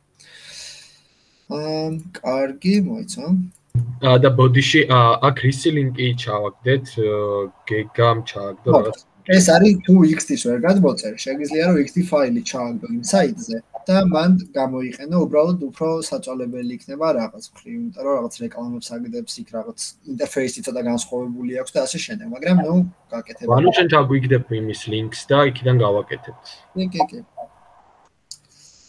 ოკეი. შემდეგ ესე იგი, ანუ ავაწყოთ ჰედერი 1, ანუ header-ის ნაწილში, ახლა გვინდა logo და გვინდა შემდეგ ნავიგაცია და ასე გვაქვს სექცია, ასე გვაქვს footer. კარგი, ნავიგაციის ამ header-ი კი გავაკეთეთ, მაგრამ header-ის შემდეგ გვინდა განსაზღვროთ უკვე ჩვენი ნავიგაცია, ხო? იმიტომ რომ logo-ც თავისუფლი ნავიგაციის ნაწილია და ესეც მით უმეტეს. ოკეი. აა, წერთუდი, რაც დავკარგე მგონი. ოკეი. გვაქვს logo და გვაქვს ნაუბარი. ლოგოს განსასაზღვრად შეგვიძლია გამოვიყენოთ რა ტეგი, რომ მითხრათ, თქვენ ანუ რა შეიძლება დავჭირდეს ლოგოსთვის, იმიტომ რომ იდეურად ის არის, რომ ლოგოს რო დავაჭერ, მე უნდა დავბრუნდე მთავარ გვერდზე. ა ტეგი? კი ბატონო. მინდა ა ტეგი. გავხსენით ა ტეგი, დავხურეთ. ავტორეთ href-ი, თუ მინდა რომ მთავარ გვერდზე დამაყენოს ლოგო, ნუ ტერ უბრალოდ ამ შემთხვევაში არსად არ უნდა გადავმისამართე იდეაში. ამიტომ შემიძლია დავწერო დიაზი, როცა არსად არ მისამართები, ან შემიძლია დავწერო იმ ფაილის სახელი, სადაც ახლა ვიმყოფები, მაგრამ ეს უფრო მარტივი ვარიანტია. და შემდეგ კონტენტი რაც უნდა გამოჩნდეს. ამ შემთხვევაში ეს კონტენტი უნდა იყოს ჩვენი იმიჯი, გამომდინარე იქიდან, რომ უბრალოდ ფოტო უნდა ჩაიტვირთოს ლოგოში. ეს უკვე გავაკეთეთ, ამიტომ პირდაპირ დავიწყებ images და logo წერტილი switch. იქ დიეზი რატო დაწერეთ? იმიტომ რომ არსად არ გადამამისამართოს ატეკმა, თავის თავთან დავწეროს. მაგისთვის არის ეს href-ში როცა წერ. ამას ეს ნიშნავს რომ იგივე გვერდზე ვრჩებ. მოდი YouTube-ის სახელი შევცვალოთ. ვიქით. QR გვიდა ჩვენ მინდა YouTube. ოკეი, ბანერი იმიჯსაც პატარა ასობით ავარქვათ სახელი, იმიტომ რომ რეალურად ჩვენ პრობლემას არ გვიქნის ეს, მაგრამ GitHub-ზე პრობლემა შეიძლება შეიქმნას რა მიცით, რომ მე რომ აქ დიდი ასოებით დავარქვა სახელი და შემდეგ HTML-ში გამოვიყენო პატარა ასოებით, წაიკითხავს. მაგრამ GitHub-ზე რო ავიტან და იქ დავბილ და უკვე GitHub-ი ვეღარ წაიკითხავს და იქნება error-ი. კარგი, ხო, ანუ ლოგოს ნაწილი უკვე განსაცვლად შევხედოთ ახლა როგორ ჩანს ჩვენთან ლოგო და კი ბატონო, ლოგო სტანდარტულად გამოჩნდა. ლოგოს შემდეგ რა გვაქვს უკვე? გვაქვს ჩვენი ნავიგაცია, ძირითადი ნაწილი ჩვენი ნავიგაციის და ნავიგაციაში რა ხდება, ესე იგი. არის ჩვენ ნაუბარი, ნაუბარი, ანუ რომელიც არის ჩვენი ნავიგაციისთვის და ამ ნავიგაციაში გვაქვს რაღაც აითემების ჩამონათვალი. ხო? დავგადი. ანუ გვაქვს რაღაც აითემების ჩამონათვალი, როგორც ხედავთ, რაღაც 1 2 3 აითემია. ну ლოგო უკვე გავაკეთეთ. როდესაც ჩამონათვალი გვაქვს, ანუ სია გვაქვს ერთგვარი რაღაცის, ამისთვის ჩვენ ვიყენებთ შესაბამის ტეგს. ანუ ეს არის ul tag, ან all tag. მოდი ნახოთ ითვეულის მაგალითი უფრო დეტალურად, იმიტომ რომ ცოტა სპეციფიური არის ესე. ul and all in html. ლისტები. მოკლედ. ანუ განმარტება ეგეთია. ული არის unordered list-ი, ანუ დაუნომრავი, ანუ სტანდარტული ტიპის ლისტი, რომელიც არის წერტილებით და ordered list-ი არის ტიპი, რომელსაც აქვს გადანომრილი. ანუ მე თუ მჭირდება რომ ნომრები დავატო ჩემს აიმას რა ქვია. აა CS რაღაცა მქონდეს ჩამონათვალი, მაშინ გამოვიყენებ ordered, თუ არა და გამოვიყენებ unordered lists. ლისტის განსაზღვრა ხდება შემდეგნაირად. ანუ თითოეულ lists, ანუ uls და alls უნდა კონდეს შეგდით li item-ი, რაც ნიშნავს list items, ანუ list-ის item-ი. რო აღიქვას ის როგორც მისი ნაწილი, მისი ელემენტი და აქ ჩაამატოს შესაბამისი ან orderingით, ან წერტილით. აი მაგალითად, ახლა ჩვენ ჩავამატოთ აქ რაღაც ახალი. აი please მაგალითად ჩავამატეთ. არც ოფი იყოს პატარა ასოებით. ლი დავხუროთ. როდესაც დავვრანავ თავიდან გამოჩნდა ჩაოლებრივი წერტილით. მაგრამ მე რო პითეგი ჩავაბატო აქ, სტანდარტული პარაგრაფი. ოფი. პითეგზე უკვე წერტილი აღარ ექნება, ნახე? იმიტომ რომ ეს არის განსხვავებული ტიპის, ანუ ული ვეღარ აღიქონს ამას როგორც ლისტის items, და ბუნებრივია, ხო, რომ ანუ არ არის ლისტის item, ეს არის p. მე შემიძლია რომ ლიში მქონდეს p ჩაწერილი, თქვა თუ დამჭირდა, მაგრამ ანუ p როცა მაქვს ცალკე ინდივიდუალურად, ამ შემთხვევაში ის აღარ აღიქმება როგორც ლისტის item. ეს ვამისად რჩება აი ასეთი სახით. ჩვენც უნდა გამოვიყენოთ ული და ულში ყოველთვის ვიყენებთ liebs. მაგაც რადგან გვაქვს ჩამონათვალი რაღაცის, ამიტომაც გამოვიყენებთ ულს და ეს თითოეული ტიპი იქნება ლიები. ესა, ვიდეო კარგი. ოკეი. ანუ აკავართ, ვაკეთებთ ახლა ულს. აი, ულს. ახურეთ ული, ანუ ხსია გავაკეთეთ, ინიციალიზება სის და შემდეგ გავაკეთეთ ლიები. ანუ თითოეული ტექსტი რაც მოცემული, გვეტეროს ლიში. მაგრამ აქ კიდევ ერთი ფაქტორი არის, ნახეთ, რომ ამას რო დავაჭერ, რეალურად მე რაღაც ახალ გვერდზე უნდა გადავმისამართდე. აი, იმიტომ რომ ნავიგაცია. ამისთვის რომელი ტეგი დამჭირდება კიდევ რო გავავიყენო? A ტეგი. კი ბატონო, ლიში კიდევ მექნება A ტეგი. ოკეი, თავისი href-ით.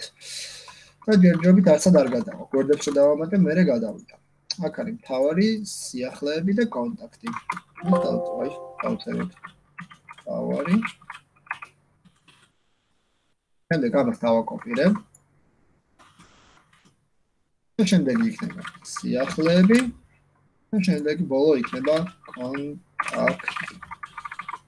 ოკეი. შევხედოთ ახლა რა ვარიანტი გვაქვს მიღებული, დავარეფრეშეთ და კი ბატონო. ანუ გამოჩნდა, ნუ ეს წერტილები სიამ თავისებურად მიამატა, რა თქმა უნდა. და ჩვენთან რა გვაქვს? გვაქვს თავარი სიახლეები კონტაქტი. ეხლა განსხვავებული რაც არის, გარეშე არ შეიძლება აი მაგალითად წერტილები რო გავაქროთ. და შესაძლებელი არის list style არის ატრიბუტი, რაც უნდა გავუქმოთ და მაგას სახში ვეთქვით დავალებოთ. List style ქვია ისე და რომელი პარამეტრი იქნება, ეგ თქვენ რომ მოიძიოთ, კარგი იქნება თქვენთვის. თუ რამეა და გაგიჭirdებათ მე მაგასაც გეტყვით, მაგრამ მანამდე ოკეი. შემდეგ რა გვაკლია? გვაკლია ფერები. ანუ არის წითელი და ლურჯი. ანუ წითელი არის რეალურად აქტიური, რომელიც არის ის კლასი, ანუ რომელ გვერდზეც ვიმყოფები, ის უნდა იყოს წითელი. ანუ თუ მთავარზე ვარ, მთავარი, სიახლეებზე სიახლეები და ეგეო კონტაქტი. კარგი, მივანიჭოთ ახლა ჩვენს ატეგებს კლასები და რატო ატეგს და არა ლის მაგალითად. მე რო ლის მივანიჭო ფერი, ატეგი გაუკეთებს overrides, ანუ overrides რა რეალურად ლისკი შეუცვლი, მაგრამ ატეგს ხო თავისი უნიკალური ფერი გააჩნია, აი, სტანდარტულისგან განსხვავებით არის ყვითელი, კი არა, ლურჯი. აკაც რომ ნახოთ, ატეგი არის ჩვენი რაც. აი. ოკეი, ტიპი და რომელსაც აქვს თავისი კოლორი, რაღაც გალინკული რაც აქვს, აი, ვებკით ლინკიო, როგორც არის მითითებული. ანუ ბრაუზერი აიჭოს ამას default. და მე რო ლის გაუწერო რაღაც კოლორი, როგორც აი. ან კლასით ეგ არ იმუშავებს. კარგი, გავწეროთ პირველ რიგში ნაუბარისთვის ჩვენი კლასები. დავაკვეთ ამას now a, იმიტომ რომ ნაუბარის ატეკი არის და color-ი კონდეს აქედან ამოღებული მთავარი color-ი რაც არის. და ეს არის ლურჯი. დავაკოპირებ, ანუ მოვნიშნე აიტემი, გადმოვედი მარჯვენა მხარეს, ფილში ვიპოვე ფერი, შემდეგ მოვნიშნე ეს ტიპი, დავაკოპირებ, Ctrl-C და Ctrl-V. ჩავს. შემდეგ ეს nav a მე უნდა დავაკავშირო ჩემს ატექს. კლასი გავუწერე და ჩავს. დავასეივე თუ რა. კი ბატონო, მიიღო რაღაც განსხვავებული ფერი, ხო? ანუ ის გავსი ლურჯია, შორიდან არ ჩანდა კარგად, მაგრამ მაინც. ხა ყოველს გავუწეროთ ეს ფერი. ოკეი. ოკეი. ანუ ვიხდი რატო არ შეიძლება რომ ლისტზე მივაწეროთ? აი ახლა მივაწეროთ და ნახოთ როგორ იმუშავებს. აკე? რეალურად ლისტს რომ მივანიჭეთ, ამ წერტილს კი შეუცვალა ფერი, ანუ რაც აქვს ლისტის აიტემს, მაგრამ ატექს ვერ შეუცვალა, იმიტომ რომ ატექს აქვს თავისი ფერი, როცა ატექს hrefs გავუწერთ ჩვენ, ის დეფაულტად იღებს თავის ფერს, ნახე? და რეალურად კი მუშაობს ის კლასი, რაც მშობლისგან მიიღო. inherited from leo გვეუბნება მაგრამ lis class-ისგან მაგრამ რადგან atex თავისი ფერი აქვს როდესაც href-ია გადაცემული ამიტომ z დაწერს იმ შობლის გადმოცემულ ფერს და აღარ აინტერესებს და თუ ჩვენ გვინდა რომ atex-ის ფერი შევცვალოთ უშუალოდ atex უნდა გაუწეროთ ეგ ფერი და ამიტომაც დაუჭირდა რომ ნაცვლად lis-ი ანუ atex გაუწერეთ ეს კონკრეტული კლასი რო თავისი ფერი რაც აქვს აი არ გადაეტერა თავზე ამ გადმოცემული ფერისთვის. აა გასაგები იყო თუ ცოტა ბუნდოვანი? არა, არა, გასაგებია. ოკეი. შემდეგი გვიდა ფონტის სტომა, რომელიც არის 22 პიქსელი. font size font size 22 პიქსელი კი ბატონო, ზომაშიც გაიზარდა. Okay, ჩვენიერი. ახლა გვჭირდება ის, რომ მოვაშოროთ პირველ რიგში underline-ი. ახე, იმიტომ რომ ქვედახაზი არა აქვს და ეგეც ატეგის ის არის, რა ქვია, feature-ი, როდესაც გალინკული ხდება href-ი აქ. იკეთებს იმ first და ასევე underlines. underline-ის მოსაშორებლად არის ატრიბუტი, რომელიც არის text decoration, ან ტექსტის გაფორმება და ეს უნდა იყოს none. ანუ ეს არის цаრიელი ტიპის აა არაფერი არ უნდა კონდესო შესაბამისად რეფრეში შემდეგ მოშორდა. და იგივე არის ლისტის შემთხვევაშიც რა გითხარით ანუ ნან ატრიბუტი უნდა კი არა ნან პარამეტრი უნდა გამოიყენოთ იმ ატრიბუტზე რაც წეგად ვახსენეთ და სახელს აღარ გავიმეორებ ოკეი. Now adds არის და შემდეგ რა გვინდა? გვინდა ფერი. წითელი ფერი იმ აიტემისთვის რომელ გვერდზეც ვიმყოფებით. ამისთვის მე შემიძლია ასეთი რაღაც გავაკეთო რომ კონდეს რაღაც ახალი კლასი, ანუ active. ან უფრო story რო იყოს, იმიტომ რომ active შეიძლება ძალიან ზოგადი სახელია. now a active. და ეს დააბრუნებს იმ ფერს, რომელიც უნდა კონდეს active items. აი მაგალითად და წამოვიღოთ ახლა წითელი ფერი, რომელიც არის განსასრული. და შემდეგ ვუთხრათ, რომ მე თუ ვარ ამ შემთხვევაში თავარის გვერდზე, now a-თან ერთად ამას კონდეს now a active-ს. და ეს რას გააკეთებს, რომ წაიკითხავს ჯერ now as colors color-ად მიანიჭებს lures, font size და text decorations. და შემდეგ რომ წაიკითხავს now as actives, colors წაიკითხავს აქედან, შესაბამისად ამას გადააწერს თავზე და ეს აღარ დაგვაინტერესებს ჩვენ. დარჩება font size და text decoration-ი და ამისი color. აი ნახოთ ისევ inspect-ს. ნახეთ, გაწითლდა. inspect-საც რო შევხედოთ, inspect-ში დახებ საიტზე მარჯვენა ხილაკი და ბოლო item-ით. ტატეგი არის color-იც, font size-იც და text decoration-იც nav a კლასიდან, მაგრამ active უკეთებს overrides. და active-ს გამოვიყენებთ თითოეულ გვერდზე იმ items დავადებ active-ს, რომელ page-დაც ვიქნები, იმიტომ რომ მე რო contact-ის page-ს გავაკეთებ შემდეგ და ან სიახლეებს, აი მაშინ ამ კლასს წავიღებ შემდეგ სიახლეებში ბოლოს contact-ში. შესაბამისად შეუძლებ ფერს. მოკლედ ეს არის იდეაში, ჩემი ის გავაკეთე უკვე. აა თავარი ის რაც გქონდა ნავიგაცია და ეხლა შემიძლია გადავიდე ახალ ნაწილზე და ეს ახალი ნაწილი არის სექცია. ჩემი ფოტოთი. ან ნავიგაცია უკვე დავასრულე და შემიძლია რა ვქნა, რა ვქთ დავდგები ედიტორის ის არის ფიჩერი, ამას ავკეცავ და всё. ხელს აღარ შემიშლის კოდის ნაწილი. შო დამჭირდება ისევ ჩამოვშლი. სექციაში მჭირდება მხოლოდ ერთი ცალი ფოტო. რომელიც არის ჩვენი იმიჯი. და რომელიც ამბა წამოვიღოთ იმიჯებიდან და ეს უნდა იყოს ჩვენი banner წერტილი jpg. ასევე გვჭირდება alt ატრიბუტი, რომელსაც ვეთქვით, რომ ეს არის ჩვენი main banner-ი შემდეგ გადავდივართ აქ ნახარეს, ვარეფრეშებ და კი ბატონო, გამოჩნდა ეს ჩვენი main banner-იც. ჩვენ თითქმის მიუახლოვდით იმ დიზაინს, რაც გვაქვს და ბოლო ტიპი არის აი ეს აა სოციალური აიკონები. სოციალური აიკონებისთვის ესე იგი გჭირდება ფუთერი, იმიტომ რომ თქვით რომ ფუთერში გვაქვს ეს ინფორმაცია თქო და გჭირდება ორი ცალი ფოტო, იმიტომ რომ ეს აიკონებიც არის ფოტოთი შეგოტანილი. იცი იმიჯი დავწეროთ, source-ში გადავდივართ იმიჯებიდან და ეს უნდა იყოს წესით Facebook-ი, მაგრამ გონი არასწორად წამოვიღე, იმიტომ რომ სასახელია. აი, მეც თავიდან დავაექსპორტებ. გადავაშლო. დავშალოთ, ოკეი. და თავიდან დავაექსპორტოთ Facebook-ის სოციალური აიკონი. Ctrl+E, SVG. export. არა, იქ კაი შეიძლება ეგრე ვქვია და დავარქოთ მაშინ ჩვენ F. ოკეი, პირველი იყო Facebook-ი და მეორე იყო YouTube-ი. აი სამიცამი არა. და მეორე მინდა იყოს YouTube, ასევე ალტები არ მოვიწდება, Facebook. მეორე იყოს YouTube. ოკეი. მინახავთ. გადავდივართ აი და ვარეფრეშებ და კი ბატონო, გამოჩნდა Facebook-იც და YouTube-იც. უბრალოდ შუაში არ გავაკეთეთ ის ხაზი, როგორც ხედავთ, იმიტომ რომ, ну, ამის გაკეთება რამდენიმენაირად შეიძლება. ყველაზე მარტივი იქნება ახლა თქვენთვის, რომ ადგეთ, თქვა, ფოტო წამოიღოთ ესეს და ფოტო ჩავსვათ ამას შუაში. მაგრამ მაინც ჯერჯერობით არ გვინდა ეგ ნაწილი. უბრალოდ მსგავსებული დიზაინი გავაკეთეთ.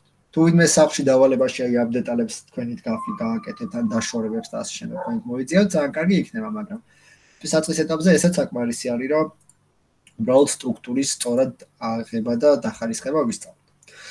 ანუ გავაკეთე მე ჰედერი, გავაკეთე სექცია, გავაკეთე ფუტერი და შევ, ყველაფერი მზად მაქვს. ჩემი პირველი პეიჯი ასე თუ ისე მზად არის. ერთ-ერთი არ არის, მაგრამ ნუ ბევრიც არაფერი აკლია. ახლა გადავიდეთ მეორე გვერდზე, რომელიც არის ჩვენთვის ისინი რა ქვია. სა არტიკლები, ნიუსი. სიახლეების გვერდი და ამისთვის გვჭირდება რომ გავაკეთოთ ახალი ფოლდერი. რომელშიც გვიქნება page-ებისთვის განსაზღვრული და იქ გვექნება სწორედ ეს ახალი კონტაქტის და იმის გვერდიც, რა ქვია. აა სიახლეებს. page. ამათეთ აკაც კი ბატონო გამოჩნდა new file და ამას დავარქვათ უკვე რაც მინდა ისახელი. მაგან news-ია დავარქვათ news-ი. გაფართოება წერტილის შემდეგ უნდა იყოს HTML, რათა ბრაუზერმა შეძლოს მისი წაკითხვა. ნუ დავწეროთ ახლა სტანდარტულად ჩვენთვის, აი სახლის ნიშანით doc type გამოტოვება html შემდეგ უცებ გამოვიყოს html ეს ამბეჭერ შემდეგ იყოს ისე html. html შენ მქონდეს head და body heading. Body body და როგორც ვთქვით გჭირდება title იმისათვის რომ ამ გვერდზე სხვა სათაური მივუცეთ იმიტომ რომ ეს არის news. News ინდექსზე ქვია გონ ლექჩორორი და შეგვიძლია დავარქვათ home. ეს ნიუსი და ხა რა გვინდა? აქაც გვინდა გქონდეს იგივე ჰედერი, რაც გქონდა პირველ გვერდზე. ამიტომ შეგვიძლია უბრალოდ ავდგეთ, ეს დავაკოპიროთ, რადგან ჩაკეცილი მაქვს მარტივად დავაკოპირე და არ დამჭირდა ბევრი არაფერი. და კოდი რო გავხსენი, მოიცა. რო გადავიდეთ ამ ნიუსის გვერდზე და ჩავაკოპიროთ, კი ბატონო ჩაგვიждდა. შევინახოთ ვნახოთ ახლა როგორ გამოჩება ნიუსის კვერც. პირველ რიგში უნდა დავამატოთ ჩვენ გადამისამართება, ხო, ატექსზე. მაგრამ მეორე ვარიანტი არის, რომ თქვა თუ გადამისამართება არ მაქვს, როგორ გავხსნა ახლა ნიუსის კვერტი. ბრაუზერი, რასაც კითხულობს ახლა, არის ჩემი ფაილის ლოკაცია ჩემს კომპიუტერში. ეს არის C დისკი და მეორე იუზერები, მუშნი, დესკტოპი, ფოლდერის სახელი და ფაილის სახელი. რადგან news-ის გვერდი იმყოფება კიდე ერთ ფოლდერში დამატებით, ამ მეორე არის news.html-ი, მე შემიძლია რა გავუწერო ზუსტად ეგ მისამართი რომ lecture or-ში მაქვს ფოლდერი რომელიც არის page-ი და page-ში მაქვს ანუ შევდივარ ფაილში და ფოლდერში ამ სლეშით აქ მაქვს news.html დავარეფრეშე და კი ბატონო ნახე ყველაფერი გამოჩნდა. ისა როგორც იყო. ან მაგრამ მაგრამ პრობლემა ის არის რომ არც ფოტო ჩამიტვირთა და არც ვიზუალები არც სტილები და გამოვიძიოთ ეგ პრობლემა რა რას შეიძლება და გამოეწვია, მაგრამ მანამდე მოდი ჩვენს ატექსზე გავლინკოთ ამ გვერდის მისამართი. გალინკო როგორ ხდება გახსოვთ? ანუ გვერდიდან გვერდზე გადასვლა. ლინკი არა ანუ გადასვლა გალინკოში ვიგულისხმე ამ შემთხვევაში ორი გვერდი რო ერთმანეთს დავაკავშიროთ ატეგებით. წერთან იმ ფაილის მისამართ, სადაც ფაილი გვაქვს შედახული. ამ შემთხვევაში page-ებიდან news.html-ზე გვინდა რომ გადავიდეთ. ოკეი, გადავედით, დავარეფრეშეთ სიახლეები და გადმოვედი პირდაპირ. ძალიან კარგია. მაგრამ მან შეცდომაა რომ აი კოდებში სადაც გვიწერია news.html-ში გადადით. აჰა, გადმოვედი. მან href-ის pip-ს არ უნდა, ანუ pip-ი რო გიწერიათ, მან უნდა ეწეროს უკან დაბრუნება, ანუ წერტილი, წერტილი და დახრილი ხაზი და index html მგონი. ეგ კი ბატონო, რო უკან დაბრუნდე, მაგრამ ანუ with photos არ ჩატვირთვასთან და css-ის არ ჩატვირთვასთან რა კავშირი გვაქვს? ეგ ეგ არის ახლა პრობლემა. აა, news-ის გვერდი უნდა დავაკავშიროთ css-ის. კი ბატონო. ანუ გჭირდება css-ის იმპორტი, ხო? მოდი ესეც ავდგეთ, დავაკოპიროთ, ჩავსვათ. შევინახოთ იმუშავებს? არა. ხო? ფოტო არ იმუშავებს უნდა. ანუ რა ადგილს საიდან ვცდილობ ჩვენ წაკითხოთ, ნახეთ. აქამდე რო ინდექსი დამკითხულობდით, ინდექსში მისამართი გვეწერა პირდაპირ. და მოვიდეთ, გამოვიდეთ, ჩერ და შევიდეთ, ხო? კი ბატონო. ამდე რადგან ახლა ვართ page-ების folder-ში არსებულ ფაილში, ამიტომ გვინდა რომ ჯერ ამოვიდეთ ამ folder-იდან, ამისათვის გვჭირდება ორი წერტილი და slash-ი, უკვე ამოვედი მე ამ folder-იდან, ვარ აი ამ დირექტორიაში და აქედან უკვე შემიძლია მიუწოდე ნებისმიერს. შევედი CSS-ში და შემდეგ style-ში. დავასეივეთ. ავარეფრეშეთ და კი ბატონო, გამოჩნდა. იგივე გვინდა იმიჯების შემთხვევაშიც, რომ აქ რო პირდაპირ იმიჯის წაკითხავს ვცდილობ. ჯერ გვინდა რომ folder-იდან ამოვიდეთ. რო უთხრათ რომ იცი რა, აი page-ებში, იმიტომ რომ page-ებში არა ეს იმიჯის folder-ი. მაქვს page-ების გარეთ, ამიტომ უნდა ამოვიდე, შევიდე folder-ში და წავეკითხო შესაბამისი იმიჯი. გავარეფრეშეთ და ესეთ გამოჩნდა. ძალიან კარგი. და კიდე მე მგონი აი კლასები რომ მივანიჭეთ, მთავარი გვაქვს ახლა რომ წითლად გვაქვს და ახლა უნდა მივჭეთ სიახლეებს, ხო იგივე? კი ბატონო, მართალია რომ აი ეს now აი active კლასი უნდა მივჭეთ სიახლეებს, იმიტომ რომ ეს არის ჩვენთვის უკვე აქტიური სექცია. refresh-ის შემდეგ კი ბატონო, გახდა წითელი ფერის. ახლა მოდი უკან დაბრუნებაც გავაკეთოთ, ხო? მთავარშიდან კი გადმოვალთ აქ, მაგრამ თავარს რო დავაჭერთ, ისე უკან რო გადაგვა მისამართოს. აი, მისამართი მიკან ნახეთ, როგორ ჩავწერო ინდექსის.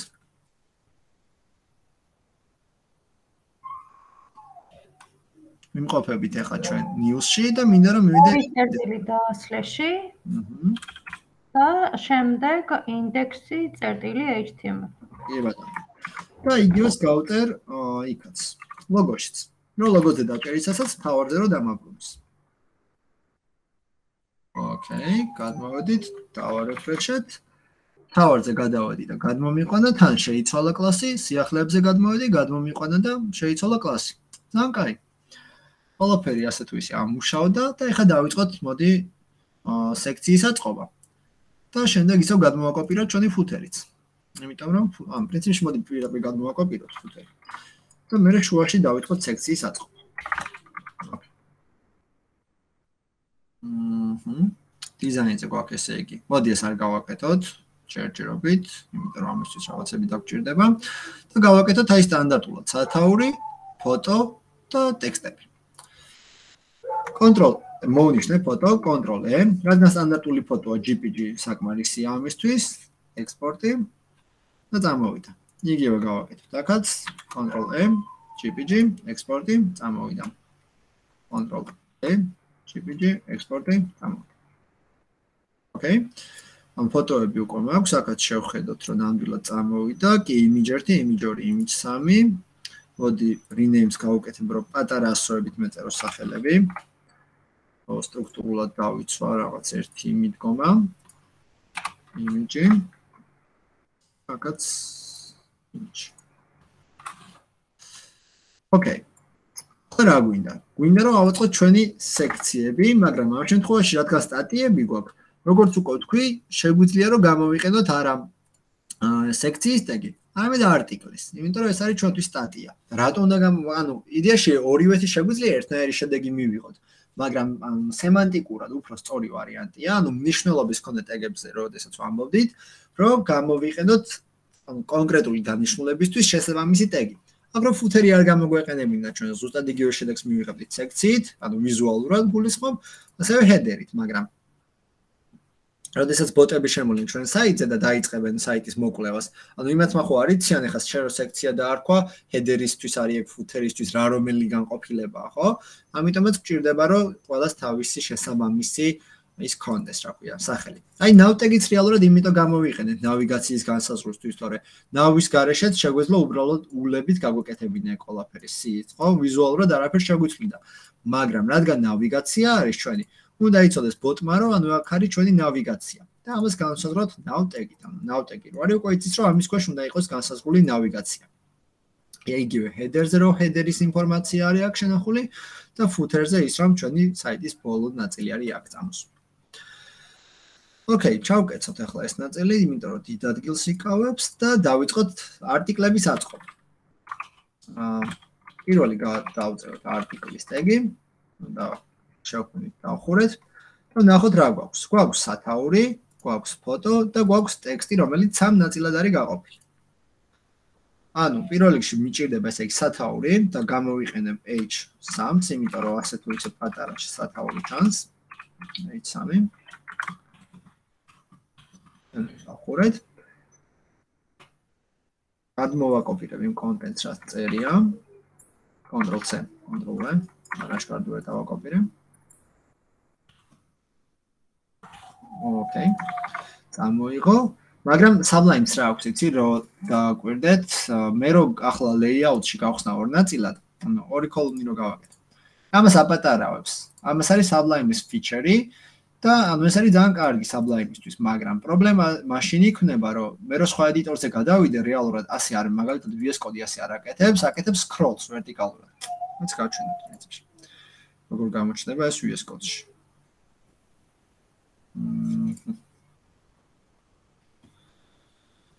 ანუ ეს კოდი გავხსენით და ინდექსი ინდექსი არა და ჩვენ გვინდა page-ები, ხო, news. ანუ აქ კი პატარა ტექსტი არის, მაგრამ რამე დიდი ტექსტი რა გქონდეს. ანუ ერთ ხაზზე მინდა მივაწებოთ. ანუ ნახეთ გაიგეთ scroll.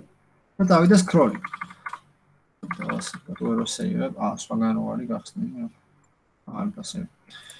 მაგრამ Sublime-ში ასე არ აკეთებს, ნახეთ. ანუ ერთხელ ჩამოიტანა და მე მგონია რომ ყველაფერი კარგად არის და დაალაგებულია ტექსტი, მაგრამ რეალურად არ არის და ტექსტს აქვს აი ასეთი სახე და ძალიან დიდზე მიწოს ხოლმე გასკროლა, რაც არასწორია. ასე დროს უნდა ავდგეთ. აი ხო რაღაც მომენტებში ენთერები დავარდ. იმიტომ რომ მე ჩვენ როგორც ვახსენეთ პრეზენტაციის დროს, აი აქ რო დაშორებები წერია, აი აქ რო 10 დაშორება მეწერს 10 space, ეს არნიშნავს 10 space. ბრაუზერი დაიგითხოს მაინც როგორც ერთ დაშორებას. და იგივე არის ენთერები, ანუ ეგ ლოგიკას არ მიცვლის. შესაბამისად არ მჭირდება იმის გამოყენება, რა ქვია. რო გინდათ ხო რა ზუსტად ისე მეწეროს, როგორც მანდარიო. ხო, რაღაცებს მირთულებს საქმეს, აი მე რომ მინდოდეს ბევრი დაშორება რაღაცა სკრიპტები ვის უნდა წერო რაღაც ერთი ატრიბუტია, მაგრამ მაინც თუ მინდა რომ სწორად დავწერო კოდი, აი რაღაც ასეთი უნდა გავაკეთო. აი VS კოდი გამართოთ, აღარ მჭირდება და გავაგრძელოთ Sublime-ში. დავაბრუნებ ისევ ერთიან layout-ს, single. და ნახოთ რა გვაქვს. გვაქვს ათაური. პირველადანო, Facebook-ი და YouTube-ი ვერ წაიკითხა, იმიტომ რომ იმიჯები არ შეგვიცვლია. და შემდეგ გვაქვს ფოტო. ჩვენი article-ისთვის. Okay. ფოტო გვინდა რომ გამოვიდეთ ისევ ჩვენი ფოლდერიდან, შევიდეთ იმიჯებში, იმიჯებიდან გვინდა იმე. გამოვიდეთ, შევიდეთ იმიჯებში. იმიჯებიდან წავიკითხოთ image 1.jpg. ასევე დავარქვათ ამის თავი, მივანიჭოთ თავისი alti და banner 1, ანუ უბრალოდ ასე იდეაში ასახელიც ქვია, მოდი ჩვენ ეგ დავუწეროთ. image 1 ქვია და image 1 ერქვას alti-ს. უბრალოდ იქნებოდა article რაღაცა კონკრეტული article-ის რაღაც image. ოკეი, ეგ ვარიანტიც გავაკეთეთ, დავარეფრეშოთ და კი ბატონო, გამოჩნდა. და შემდეგ გვინდა რომ უკვე ტექსტები წამოვიღოთ. აი ეს სამი დიდი ტექსტი რო არის. და ტექსტებს შორის ასევე დაშორება. ხო, მე ჩვენ თქვით რომ როცა რაღაც დაშორებას ვაკეთებთ, ხო, ან დაშორებების დათვლა რო გვინდა ვნახოთ რა ზომა არის და მერჯინებზე და პედინგებზე რო გადავალთ უკვე მან დაგჭირდება ეგ კარგად. ტექსტების შემთხვევაში ეგ არ შემიძლია. ნუ რო ალტს დავაჭირო, ამ ტექსტებს შორის დაშორებას ვერ ვნახავ. მაგრამ ამის ნახვა შემიძლია. აი ამ rectangle-ს დახმარებით. ანუ ეს არის ტიპი, რომელიც ხატავს, ანუ რაღაცებს ვაწყობ და მე ავდგები, ანუ ამ დაშორებებს ამას დავხატავ და სიმაღლე height-ი რაც ექნება, ანუ h-ი არის height-ის შემოკლებული ვარიანტი, ესე იგი იმდენი პიქსელი ყოფილა დაშორება. ეს მაჩვენებს პიქსელებში. ანუ აქედან აქამდე დაშორება თუ დამჭირდა დაახლოებით არის 26. ოკეი, შემდეგ უნდა გადმორთო ვიცი ზემოთ კურსორზე, რომ შევძლო მონიშნა და დავაკოპიროთ ეს პირველი ნაწილი და წავიდე. ეხლა რატო ვაკეთებ ამას ცალ-ცალკე მინდან ხო ამ სამ ტექსტს წავიღებ მე ცალ-ცალკე პეებში და იქნება ერთმანეთისგან დამოუკიდებელი, იმიტომ რომ მათ აქვს როგორც ხედავთ დაშორება და რადგან თქვი წეღა რომ აი აქ რო ენტერი დავარტყა მე არ ნიშნავს იმას რომ ეს ახალ ხაზზე დაიწყება თქო ზუსტად მაგ მიზეზის გამო იძულებულები ხდებით ჩვენ რომ იმისათვის რომ ახალ ხაზზე დავიწყოთ ყოველი შემდეგი სტრიქონი ამისათვის გამოვიყენოთ თითოეული თითოეულისთვის ახალი ტეგი ან რაღაც ბრეიკი არის, რომელიც შეგვიძლია ჩავსოთ, მაგრამ ბრეიკის ვარიანტი ერთობით არ გვინდა. იმიტომ რომ ამ შემთხვევაში ეს უფრო სწორი ამონახსნი იქნება ჩვენთვის. ბრეიქსაც განახებთ ისე. ესე იგი, პირველი ტექსტი წამოვიღეთ, შემდეგ გვინდა მეორე ტექსტი, მეორე რომელიც კიდევ უფრო დიდია. აა მოვიღეთ მეორე ტექსტი და ბოლოს მესამე.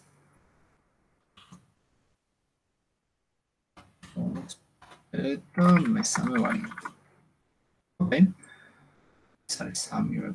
და ეხლა შევხედოთ რა გვაქვს საიტს. refresh-ი და კი ბატონო, გვაქვს სამი ცალი.